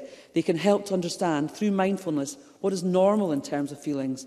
Being anxious and nervous is part of life, but it's when it gets overpowering that support and help is needed. At Curry Primary School, and this was in the report, uh, that came. They have nurture clubs, a worry box and a de-stress zone and a point in the day for mindfulness, colouring and calm music just to relax. Having a focus on health and well-being and making sure that there is a safe place, a safe space and available staff to support pupils who are struggling is equally important.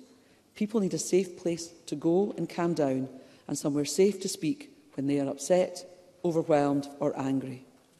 So in conclusion, presiding officer, while we're acknowledging there are many policies, instances of good practice within schools and supportive groups that already focus on this issue, from the conversations with children and young people, it is clear that much more needs to be done.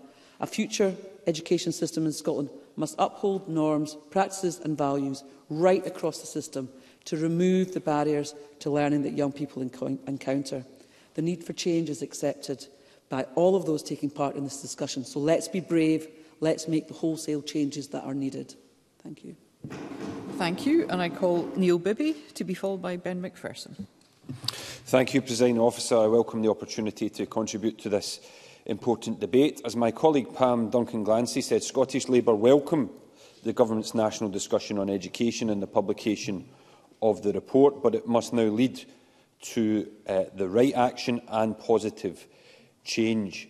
It is essential that the voices of those in the education sector, especially children, parents and teachers, are not only listened to but acted upon. It should also be clear that we want to create an education system that meets the needs of all our children and young people without doing so. The sad reality is that pupils who live in more affluent families are still more likely to succeed in school and higher education, and we won't close the poverty-related attainment gap unless we give our teachers and staff the proper resources to do their job.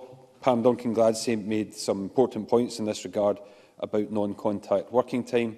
Resources will also be needed to better support children with additional support needs and to tackle issues such as violence in our schools. It will take the efficient use of resources to make our shared objectives a reality. President Officer, a national discussion or vision for education will only be a national success if it delivers positive results for the whole country and particularly places like Renfrewshire in the west of Scotland. And, President Officer, today I want to discuss the major challenges facing children and education staff in Renfrewshire. Renfrewshire children are currently facing a double whammy when it comes to resources. This will make positive change uh, more difficult to achieve rather than easier. Not only are local pupils and staff facing cuts to the attainment challenge funding, they're also facing a massive bill and disruption from the Dargavel schools debacle.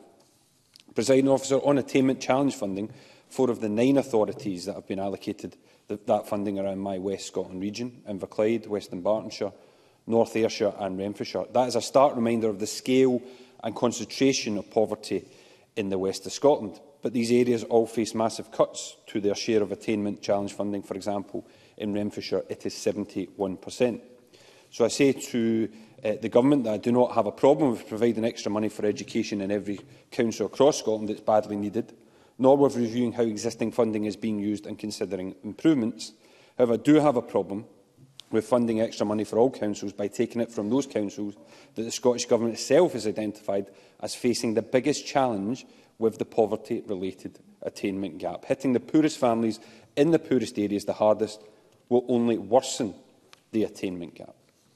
Presiding officer, one group of people the Cabinet Secretary for Education should definitely be having an urgent discussion with is the parents of children in Dargaville, Renfrewshire.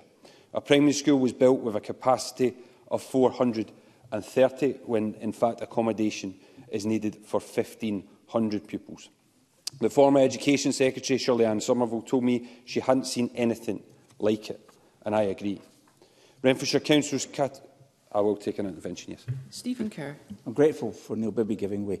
Doesn't this whole episode, though, point to a very, a very important issue that lies at the heart of our local democracies? No one seems to be accountable for these things. No one seems to be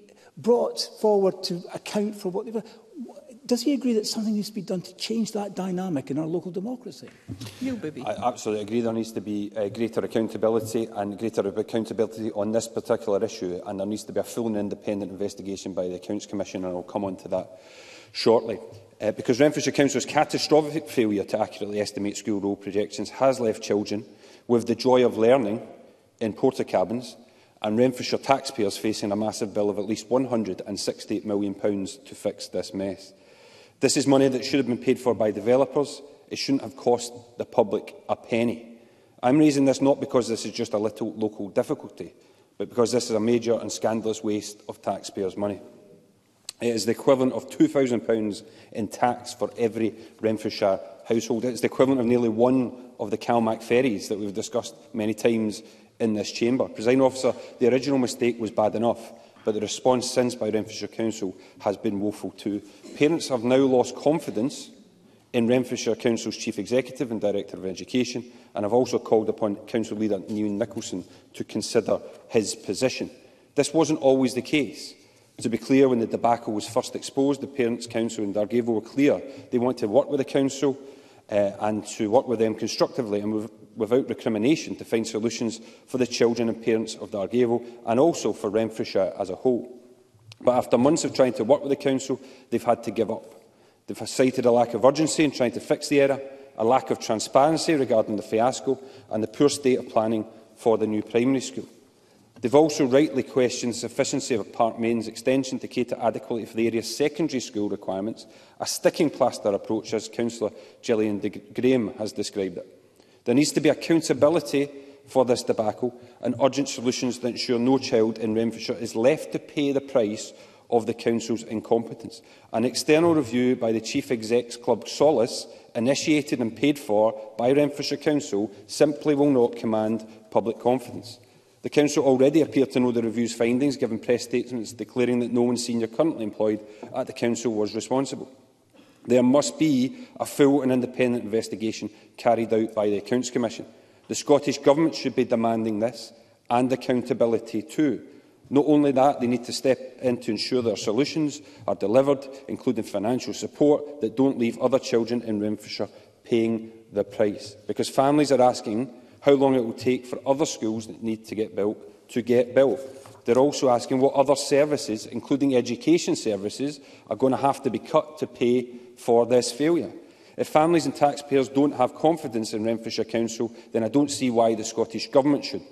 Presiding officer, parents in Dargaville want a commitment from the Education Secretary today to have a discussion with them and action to follow from that. There are major obstacles in the way of achieving anything coming out of the national discussion for education in Renfrewshire, and no shell should lose out because of the incompetence of their council. Thank you. Thank you. And I call Ben McPherson, the final speaker in the open debate. Thank you, President Officer. Today's debate and the national discussion as a whole are an important opportunity for all of us to reflect on where we've been, where we are and where we're going with Scottish education. And as I uh, consider my contribution to this debate in terms of ideas and suggestions reflecting on the report. It was interesting the Cabinet Secretary talked about how she launched the report at Bank Primary this morning and I think about four of my friends who went to Bank Primary. One uh, went on to be a professional athlete and then a journalist the other, another a successful academic, another a successful electrician with their own business, and uh, the, the last a successful painter and decorator. All did well And I think about how the circumstances were then compared with now. And it is undoubtedly clear that Scottish education has improved in that period. There has been more investment, there is more innovation, there is more room for creativity, there is more acceptance and support for those with different abilities. So as we reflect where we are, I think we also need to highlight the positives of what Curriculum for Excellence has achieved. Uh, in terms of successful learners and effective contributors, we know that recent statistics show that there are higher levels of individuals going on to positive destinations at 95.7% in terms of the academic year 21-22. Sure. Stephen Kerr. I'm grateful to Ben McPherson for giving way. Does he agree, though, that we ought to really take the measurement of positive destinations further than just a few months into the post-school life of our school leavers? We ought to be tracking the, the, what happens to these people.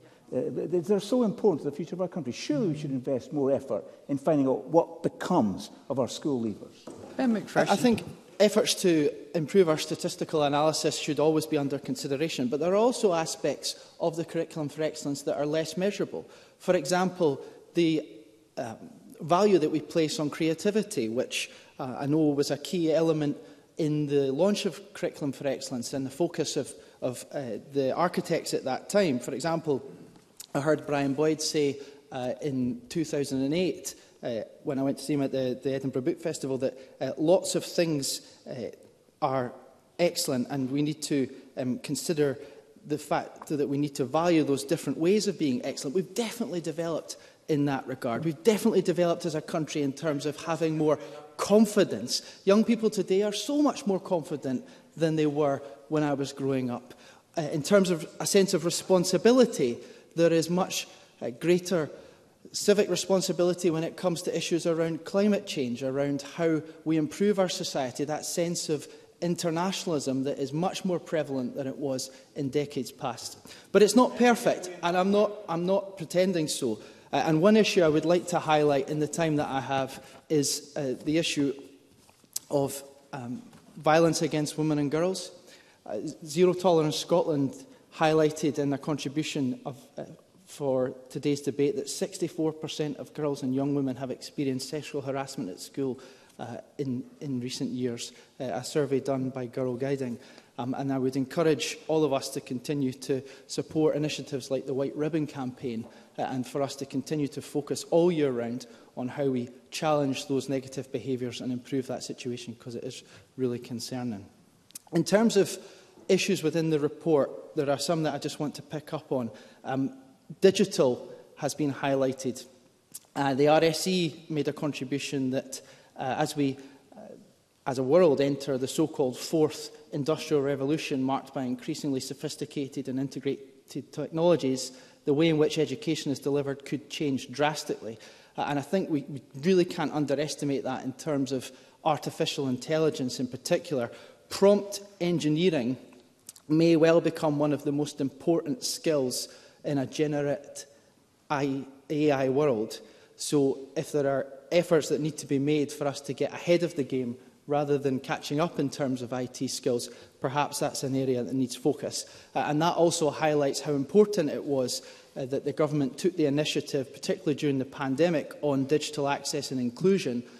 uh, with investment of £48 million to deliver devices to around 60,000 households uh, using uh, and working with organisations like People Know How who are based in my constituency.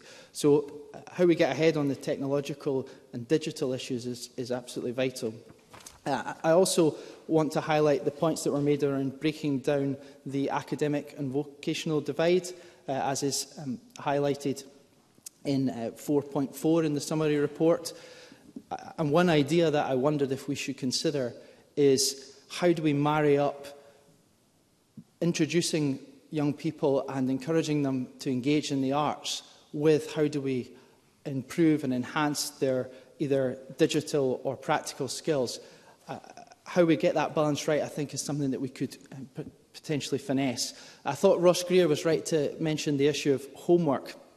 I do have concerns and have done for some time about how homework contributes to the poverty-related attainment gap in that it's much easier for some people to do homework than others. And I do think it's an area of concern that we need to continue to consider. Um, along with teacher training, uh, CPD, are there measures that we need to take in that regard? Uh, but overall, uh, uh, there's, this is the start of the next chapter of the conversation. As the Cabinet Secretary highlighted, we now enter a phase of engaging with young people, with engaging with the profession, Um, I'm excited to see how that develops. I encourage us as a Parliament as a whole to be solution-focused and constructive, uh, and I'm excited to see how this is taken forward uh, and support the Cabinet Secretary in her endeavours to do that. Thank you. We move to winding up speeches, and I call on Martin Whitfield. I'm very grateful, presiding officer, and I would remind those of my declaration of interest as a former employee of East Lothian Council, who I may well mention um, in my contribution.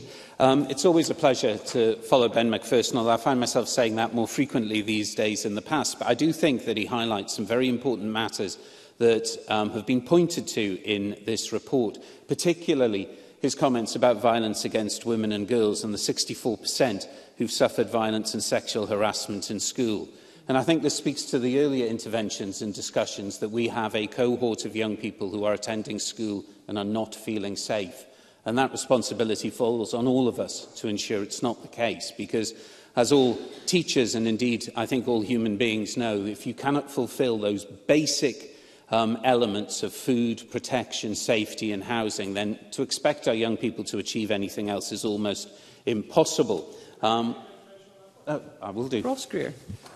I'm very grateful to Mr Whitfield for taking the intervention. I wonder if he'd agree with me that what's absolutely critical to tackling violence against women and girls in our school is making sure that every young person learns about consent during sex and relationship education, because that is not currently the case, despite aspirations for it to be so. Martin Whitfield. I, I, I, I thank Russ Greer for that intervention and absolutely agree, because part of growing up is pushing against boundaries, that those that surround you explain why they're there and through empathy and understanding, um, discussion with adults, indeed discussion with um, young people of the same age, of older and, and younger, um, people develop the tools to um, inhabit an adult life safely. And I think we are letting our young people down, not just in respect of consent, but with consent on a lot of these matters, that we are not giving them the experiences that they need to draw on to become the better adults. In indeed, one of the veritable foundations of the Curriculum for ex Excellence to be a better contributor and citizen of Scotland. Um, I welcome the um, Cabinet Secretary's int introduction and again the consensus that I think she's striving to make um, and achieve across this. And again, to echo Pam Duncan Glancy's comments, we will support the government. Indeed, we will support anyone who has the right solutions to these problems. But they are urgent. They can't wait longer. Our young people are growing up. Indeed, if um, I can be slightly flippant as to suggest that if this is the Cabinet Secretary's P1 year, um, this government's actually just finishing university. Um, so there is a period of time that we have to address and there is a shortage of it going forward. I very much welcomed her comments about... Um, yes. Brian Whittle. I'm very grateful for the member for giving way. What I was going to say in my, uh, to my earlier intervention, although the, we talk about the, the, the uh, children today, one of the concerns I have about our schools today is the rise in ill health, especially in mental health. And that is something, if we don't tackle, will have a huge impact on attainment. Martin Whitfield. I'm, I'm very grateful for that intervention. I think a lot of the contributions today, and indeed the report it's based on, has talked about the multifaceted nature of what a good education system looks like. It's not a simple solution, and it's not the same solution for every young person. But there are essential elements, from the, the touch typing, indeed, that we, we, we discussed earlier, with some level of humour, but with an importance that rests in there, as it's a tool of communication, to outdoor education, to sport, to keeping fit. These are all elements that our young people need to experience.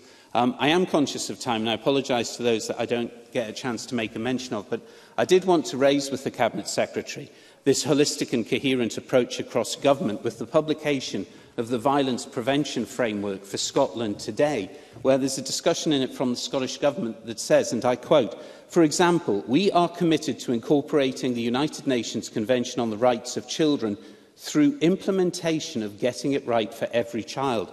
Um, and I would ask that that does not mean that we've abandoned the idea of bringing the bill back and placing it on the statute book here. Um, and again, it, with a holistic and coherent approach across government, it would be good to see um, joined up language so that we don't end up with questions being raised that are unnecessary.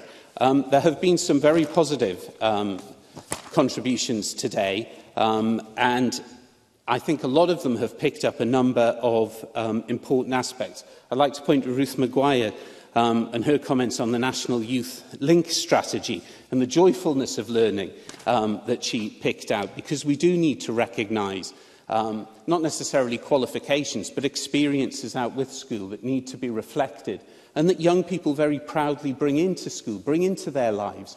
And schools should be places where that joy can be um, shared. um, I will. The member is in his final minute. Very quickly, um, I just wondered, we haven't spent a great deal of time on further education and I think it's quite key to going forward um, and some of the aspects that we've spoken about. So it's just to put on record, can we have a commitment around that? Martin Whitfield. Uh, absolutely, and it's right to say that education should be lifelong, and in fact there's been much mention of the different areas of education throughout. We have concentrated to some extent the contributions on primary schools, but also on high schools, the reform of um, the assessment situation. I am conscious of the lateness of time. It's disappointing because I would have liked to have mentioned Liz Smith and Ross Greer's contributions and others. But let me finish, since I gave the declaration of interest, about Preston Lodge, a high school in Preston Pans, who for many years has had as its aims and values achievement, respect, learning, community, but above all, happiness. Because if our children can be happy in school, they can be confident. And if they can be confident, they can learn. And if they can learn, then they can contribute. I'm grateful, Presiding Officer. Thank you, and I call on Megan Gallagher. Thank you, Presiding Officer. I feel that parliamentarians have been somewhat spoiled over the last two weeks with not one, but two debates on education. That's two opportunities for this government to defend its record on their handling of our education system, but two opportunities for the Scottish Conservatives to promote new, bold and ambitious ideas to restore Scotland's education system to its once renowned world-class status. However, I do think it is a shame and a, a missed opportunity for the Scottish Government as they have backed themselves into their usual corner of denying accountability for the mess that they have presided over for the last 16 years. They have previously shown a lack of willingness to fight to improve education standards and learning outcomes for our young people, have yet to announce any bold or new ambitious policies, and have rightly been challenged by members on this side of the chamber and other opposition members during today's debate. The Scottish Conservatives made our position clear again today. The SNP are presiding over an education system in desperate need of repair. I certainly will. Ben McPherson. I, I was just wondering if Megan Gallagher was going to talk about the ideas and the solutions and the proposals rather than just criticising, as the Conservatives see it, the government. I think that would take us into a better space. Megan Gallagher. I will just get on to that point, Mr McPherson, but I think we need to also um, also look at the story as to how we got here and why we're having a national discussion on our education system. So let's get to this point.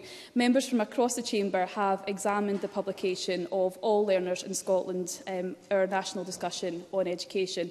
It was an interesting read, but my worry is that it will be another report that will gather dust at the back of a shelf in a government office because this has happened before. In 2017, the Scottish Government announced a new education bill which was subsequently dropped and has not been spoken of since. So I really do hope that history will not repeat itself. After all, the Scottish Government has had plenty of opportunities to bring in substantial changes that would improve outcomes for our young people, to give our young people the best possible start in life, because they have been let down at every turn. And I did have a chuckle to myself when the, the government referenced COSLA in their motion as a solution to turn this vision into a reality for Scotland's children and young people. Because the SNP have stripped local authorities of powers and made them penniless. So how do they intend to reform education when they don't have the right infrastructure, finance and resource in place? And that was a point also raised by Neil Bibby. I will, yes. John Swinney. I'm grateful to Megan Gallagher for, for giving way. I wonder if she'd like to tell Parliament how much more money the Conservatives would have given to local authorities in the budget propositions they put to the Finance Minister for the current year's budget. Megan Gallagher.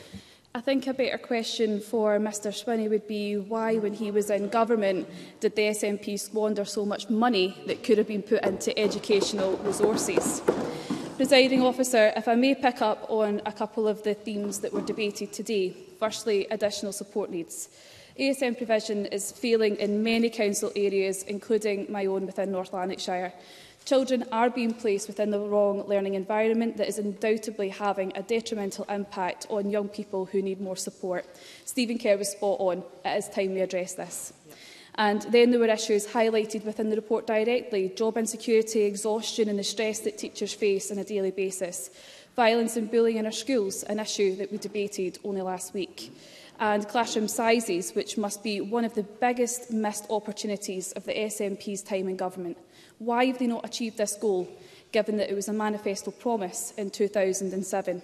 And of course, extracurricular learning, Liz Smith raised the importance of extracurricular learning that is vital to the de development of a young person, both mentally and socially.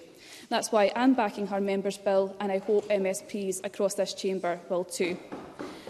And mindfulness, as mentioned by Sue Weber, having a focus on health and well-being in the classroom is crucial given the modern day pressures placed on our young people. And the last theme that I wish to mention, and it would be remiss of me not to, is touch typing.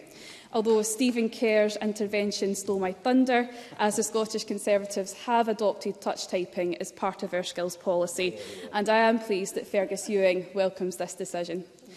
Presiding officer, I will make no apologies when I say that the SNP have yet to make any real improvements to our education system. Teachers deserve better, teaching staff deserve better, pupils deserve better. I welcome the opportunity to have a national discussion about education. In fact, it is long overdue. But unless the, it improves the learning outcomes or closes the attainment gap, it will all have been for nothing. Listening to the debate today, it is the Scottish Conservatives that have the ambition to bring something new and exciting to Scotland's education system. There would be no more talking about change if we were in charge. Change would already be happening. But for now, we will encourage this government to do better to give our head teachers more powers over their schools, to deliver a new deal for teachers, to establish a national college and to introduce life skills as part of the core curriculum. That's the ambitious vision that our young people and teachers deserve. That's the vision that the Scottish Conservatives will continue to promote.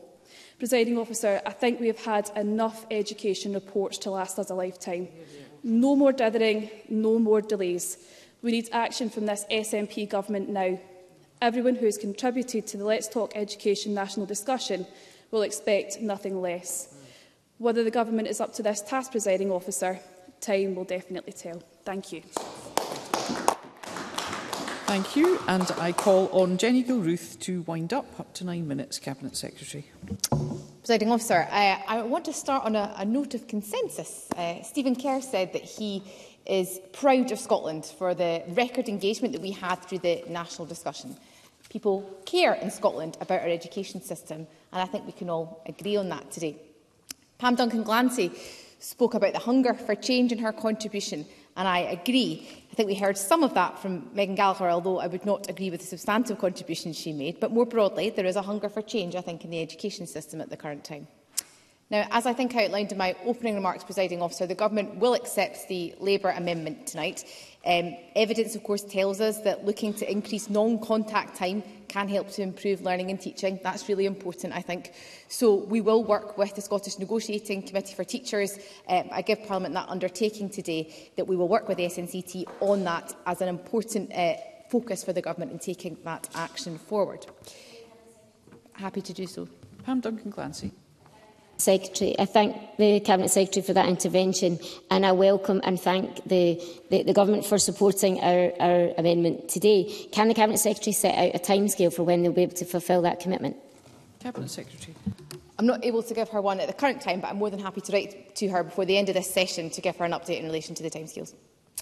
in relation to Mr Rennie's contribution, Willie Rennie spoke, of course, about mainstreaming. He said he is in favour of mainstreaming, and I very much um, agree. I think he gave an example from his own constituent. Um, and uh, in all honesty, it, it sounded a familiar one to me as a, a former classroom teacher, because teachers have always had to adapt to meet the needs of their pupils in classrooms. That's part of the job of being a teacher.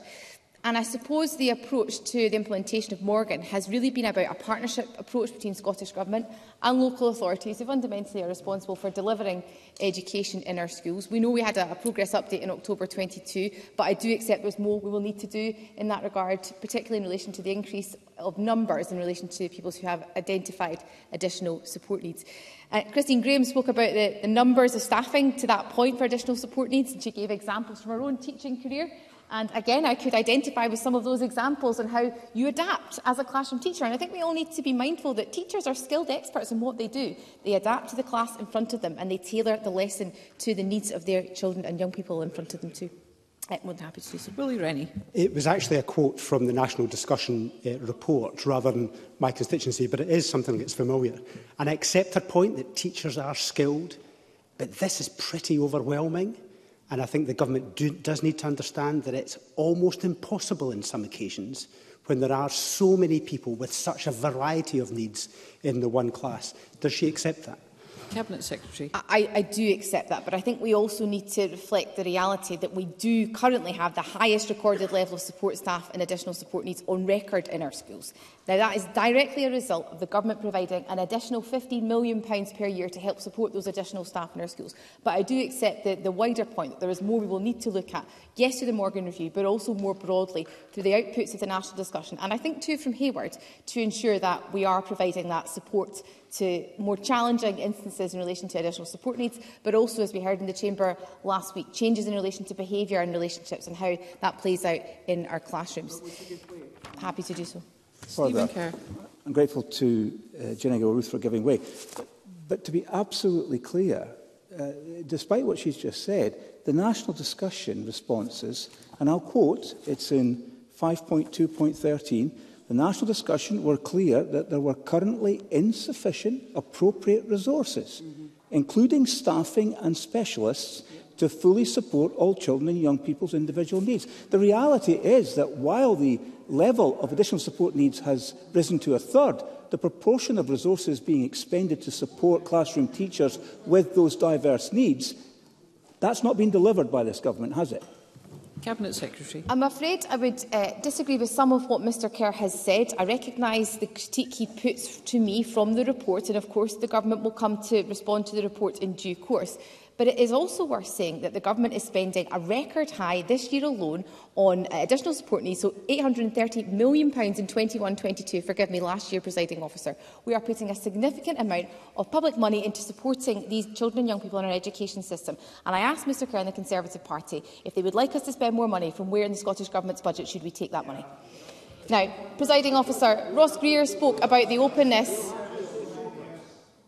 Ross Rio spoke about the openness of the approach adopted by the facilitators and the lessons I think we can learn as we move forward with our reform agenda. And uh, I think we heard from Liz Smith and from Willie Rennie too about the reform agenda. And of course, I'll be coming to Parliament uh, in a few weeks' time to give an update to that end. He talked about more challenge in the narrative privilege, and I wholeheartedly agree, having worked for two of the organisations I think he quoted in his contribution, it's hugely important that we have a, a wider reach in terms of where we go on reform, that we don't just hear from the same old voices in Scottish education. And I think this report has actually been really successful to that extent, to managing to get into local communities, but to speak to children and young people about their views too. He spoke about, and I think Liz Smith spoke about this too, about uh, levels of cynicism potentially around about the reform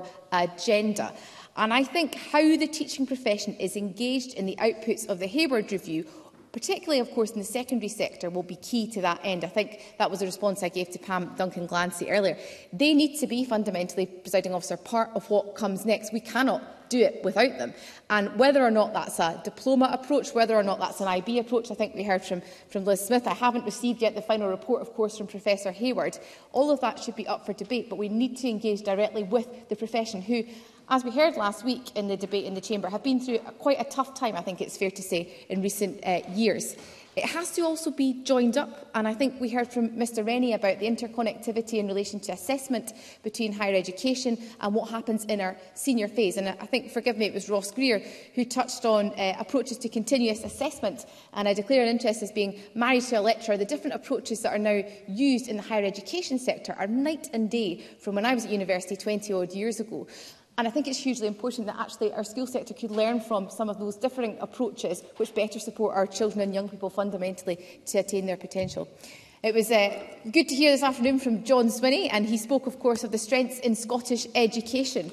Um, he gave three substantive points, one, of course, being in relation to poverty and how that is an inhibitor to children and young people reaching their potential. And I know from personal experience exactly what Mr Swinney means when he says that. That's why, of course, the government has a programme tackling poverty in our schools. But there are a number of outside influences that the report actually acknowledges, particularly in relation, for example, to the cost of living crisis, that are also impacting on our children's attainment in our schools. And the government in Scotland is limited to an extent in what we can do to respond to that, notwithstanding. He also spoke about supporting the profession and about the role of local government in that regard, and I think it's an interesting point he makes, and I'm keen to take that forward with COSLA, and on parity of esteem. And that, too, is hugely important with the outputs of the Hayward Review, but also, presiding officer, with the outputs from the Withers Review, which will look at the skills landscape. And I think it's hugely important we don't narrowly look at the senior phase in isolation, that we look more broadly at skills delivery, particularly in our schools, who are really good at finding out the best pathways for their young people. Uh, Sue Webber spoke about uh, digital provision. She will know, of course, that the government provided substantial finance in 2020-21 to delivering 72,000 devices, and we're also working with local government to roll that out further too. We know that about 55% of learners may already have access to a device, but it's fair to say that we will need to go further, and I recognise that point, particularly in relation to the outputs from the report itself. Neil Bibby has raised an important local issue in relation to school provision in Renfrewshire and Dargavel, and I give him uh, an undertaking that I will meet with him and the parents affected. I know that he has written to me, I think, on this very matter and met previously with the, the Cabinet Secretary on this issue. And finally, presiding officer, I give a commitment to Ruth Maguire that we are continuing to engage with stakeholders um, on the outputs of the uh, youth strategy. And I think it's really important that that youth work strategy ties up with the broader approach we've seen